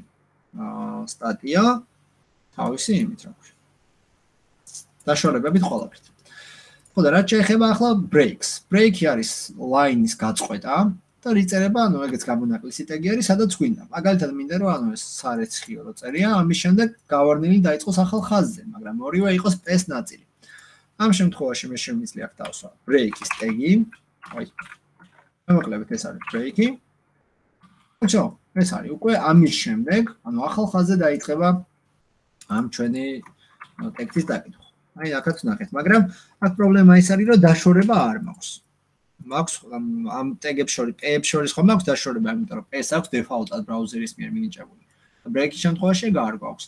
ამიტომ მოგვიწევს მაგალითად ორი break-ის ჩასმა, რომ ახალი ხაზები გამოვიყენოთ მაგალითად და რაც დაშორება ქონდეს, მაგრამ ნუ ოკეი რა ფენი ვარიანტია რომელს გამოიყენოთ. ამ შემთხვევაში პეები უფრო მარტივია, იმიტომ რომ ტექსტების კონტროლი და შორებები ჩვენ გემოზე შეგვიძლია გავაკეთოთ და ბრეიკის შემთხვევაში ზეგუს ცოტა უფრო გაგვიჭირდა. კარგი, ეგ ნაწილიც უკვე გავაკეთეთ და ახლა გვინდა რომ ეს ნაწილი სამჯერ დავაკოპიროთ. რომ სამი ცალი არტიკლი ჩავსვით. ერთხელ ვავატყოთ, სამჯერ დავაკოპიროთ. ამჯერ არ სწორად ორჯერ ვაკოპირებ, თუ სამი ცალი. ასევე მე რე გვინდა რომ ფოტოები ამოცავოთ, მაგრამ ნახეთ უკვე დიდი კოდი რო არის, უკვე რთულდება მისი გარჩევა და წაკითხვა სად ვარ. აი ეს რომელი არტიკლია, რა საკეთებს და როგორ. ამისათვის რომ ეს გარჩევა გამიმარტივდეს, მე შემიძლია გამოვიყენო კომენტარები. კომენტარი იწერება controls+//-ი, control plus slash ტიპი და ამის შემდეგ უკვე შეგიძლიათ თქვენ წეროთ ოი საიდე კომენტარი. მაგალითად, დავწერე რაღაც ტექსტი, მაგალითად, რომ ეს არის article 1, და პირველ article-ზე ვარ და აქ იწყება ჩემი პირველი არტიკლი და დავარტყი control/. ეს მომისად გამიკომენტარა. კომენტარი არის ისეთი ტიპი, რომელიც ბრაუზერში რეალურად არ კითხვა, ანუ არ არენდერებს, ანუ კოდში არანაირ ცვლილებას არ აკეთებს გავლენას, უბრალოდ დეველოპერისთვის არის რომ რაღაც მიმთითებლები დაიტოვოს მიმანიშნებლები რომ მიხვდეს. აი ასეთ შემთხვევაში მაგალითად ძალიან კარგია. მე რო არ ვიცეს რომელი არტიკლია რა თქმა უნდა ბევრი არტიკლი როცა მაქვს. ანუ სადვეძებო და დათვლას ხوار დავიწყებ ყოველჯერზე ამიტომ შექმნის მომენტში მივანაჭებ რომ აი აქ იწყება პირველი არტიკლი შემდეგ აქ თავდება პირველი მე მეორე დაიწყო. ამის შემდეგ დამთავრდა მეორე. მეორეს endy მე დაიწყო მესამე. ანუ, რა თქმა უნდა, აქ იკვირდება და მესამე თამაში. ეს სამი არტიკლი რაში დაგჭირდა? დიზაინში გვაქვს სამი ცალი. აი. პირველი, ანუ ეს თავისი სათაურით და რაღაცით, მეორე და მესამე. შეგვეძლო ხო, ანუ ისე გაგვეკეთებინა, რა ქვია, რომ ერთ არტიკლში ქონოდა იგივე გამეორებები ტეგის, მაგრამ არასწორი იქნებოდა სემანტიკურად, იმიტომ რომ ერთ სტატიას უნდა დავუთმოთ ერთი არტიკლის ტეგი, იმიტომ რომ ეს არის ერთი სექცია ერთგვარი, ხო? დამოუკიდებელი სტატიებია ესენი, ეს სხვა არის, ეს სხვა, ეს სხვა. ამიტომაც უფრო სწორია, რომ ერთმანეთისგან იყვნენ განცალკევებულები. ამიტომაც ვიყენებთ აი ამ ჩვენ სტრუქტურას, რომ ყოველი ახალი რაც ლოგიკური ნაწილი, ახალი ლოგიკური ჯაჭვი უნდა დავაგდოთ ახალი, რა ქვია, ახალ ხაზზე, ახალი ტეგით. იგივე გქნებოდა ის სექციები რო ქონდეს ბევრი მაგ შემთხვევაში, აი პირველ გვერდზე რაც გავაკეთეთ ერთი სექცია რო ჩავსვით, ბევრი სექცია რო ქონოდა, ნუ ახალ ყოველ ახალ სექციას გამოყოფდით ახალი სექციის ტეგით. ოკეი, არტიკლებიც უკვე გვაქვს, ეხლა რა სჭირდება არის რომ ამ არტიკლებს შევუცვალოთ ჩვენ ფოტოები. მეორე იყო გამიგეს იმიჯი ორი და უკვე ვიცი რომ მეორე არტიკლია და არ მიწევს გადათვლა და პირდაპირ ჩავსვამ შესაბამის ფოტოს და მესამე მესამე ნაწილი არის ამის ხო და ეს არის უკვე მესამე იმიჯი გადმოვიდეთ და ვარეფრეშოთ და ნახეთ რომ გვაქვს სათაური, თავისი ფოტოთი და ტექსტით. იგივე სათაური, ფოტო, ტექსტი, სათაური, ფოტო, ტექსტი და ბოლოს აიკონები. Ну ასე თუ ისე დაემსგავსა ჩვენს visuals. აქ ახლა ის დეტალები, აი მაგალითად font size-ები და ამისი ვიზუალები, ყველაფერი კარგად არ წარმოგვიღია. იმიტომ რომ დავალება თქვენი სწორედ ეს არის, რომ ანუ ეს გვერდები დაასრულოთ. აა დაასრულოთ CSS-ის მხარეს და პლუს დაამატოთ კონტაქტის გვერდი. კონტაქტს რაც შეეხება და რასაც უნდა მიაქციოთ ყურადღება არის ის, რომ არის შუაში, ანუ გაცენტრილია. ამისათვის აუცილებლად გამოიყენეთ CSS-ის პარამეტრი და HTML-ით არ მოაყაროთ. HTML-ით აკეთებ ხოლმე center tag-ი არის, რომელიც პირდაპირ ცენტრავს. ეს center. მაგრამ ეს არის მოდულებული ვარიანტი, ანუ deprecated-ი არის და მისი გამოყენება არ არის რეკომენდირებული, იმიტომ რომ რეალურად სუპორტი აღარ აქვს. შესაბამისად არ უნდა გამოიყენოთ HTML-ით, კი CSS-ი ძალიან მარტივად მოაყარეთ. შემდეგი რა რასაც ასევე უნდა მიაქციოთ ყურადღება არის ის რომ ეს პირველი ნახევარი სხვაფერია, მეორე ნახევარი სხვაფერი. ხო ამის გაკეთება როგორ შეგიძლიათ გეტყვით მაგას ახლავე და შემდეგ ლექციაზე აგიხსნით იმას თუ რატო მუშაობს ეს ასე თქვა და რატო უნდა გამოიყენოთ ეს კონკრეტული კონკრეტული ტეგი. მოკლედ, აი მაგალითად პირველი არტიკლის ის შევცვალოთ, მოდი. აა სათაური, ჩავამატოთ და თქვათ რომ აი პირველი სიტყვა, პირველი ორი სიტყვა გავხადოთ სხვა ფერის. ლოგიკურად რომ ვიმსჯელოთ, ამისთვის რა გვჭირდება, რომ გვჭირდება რაღაცა ვრაპერი, ან მიმთითებელი ტიპი, რომელთაც ამას მოვაქცევთ ცალკე გამოვკიდებელ ტიპად და ვეტყვით, რომ შენ იყავი მაგალითად სხვა ფერით. ამისთვის შეგვიძლია რომ რაღაც ტეგები გამოვიყენოთ და ერთ-ერთი ასეთი არის სპანი.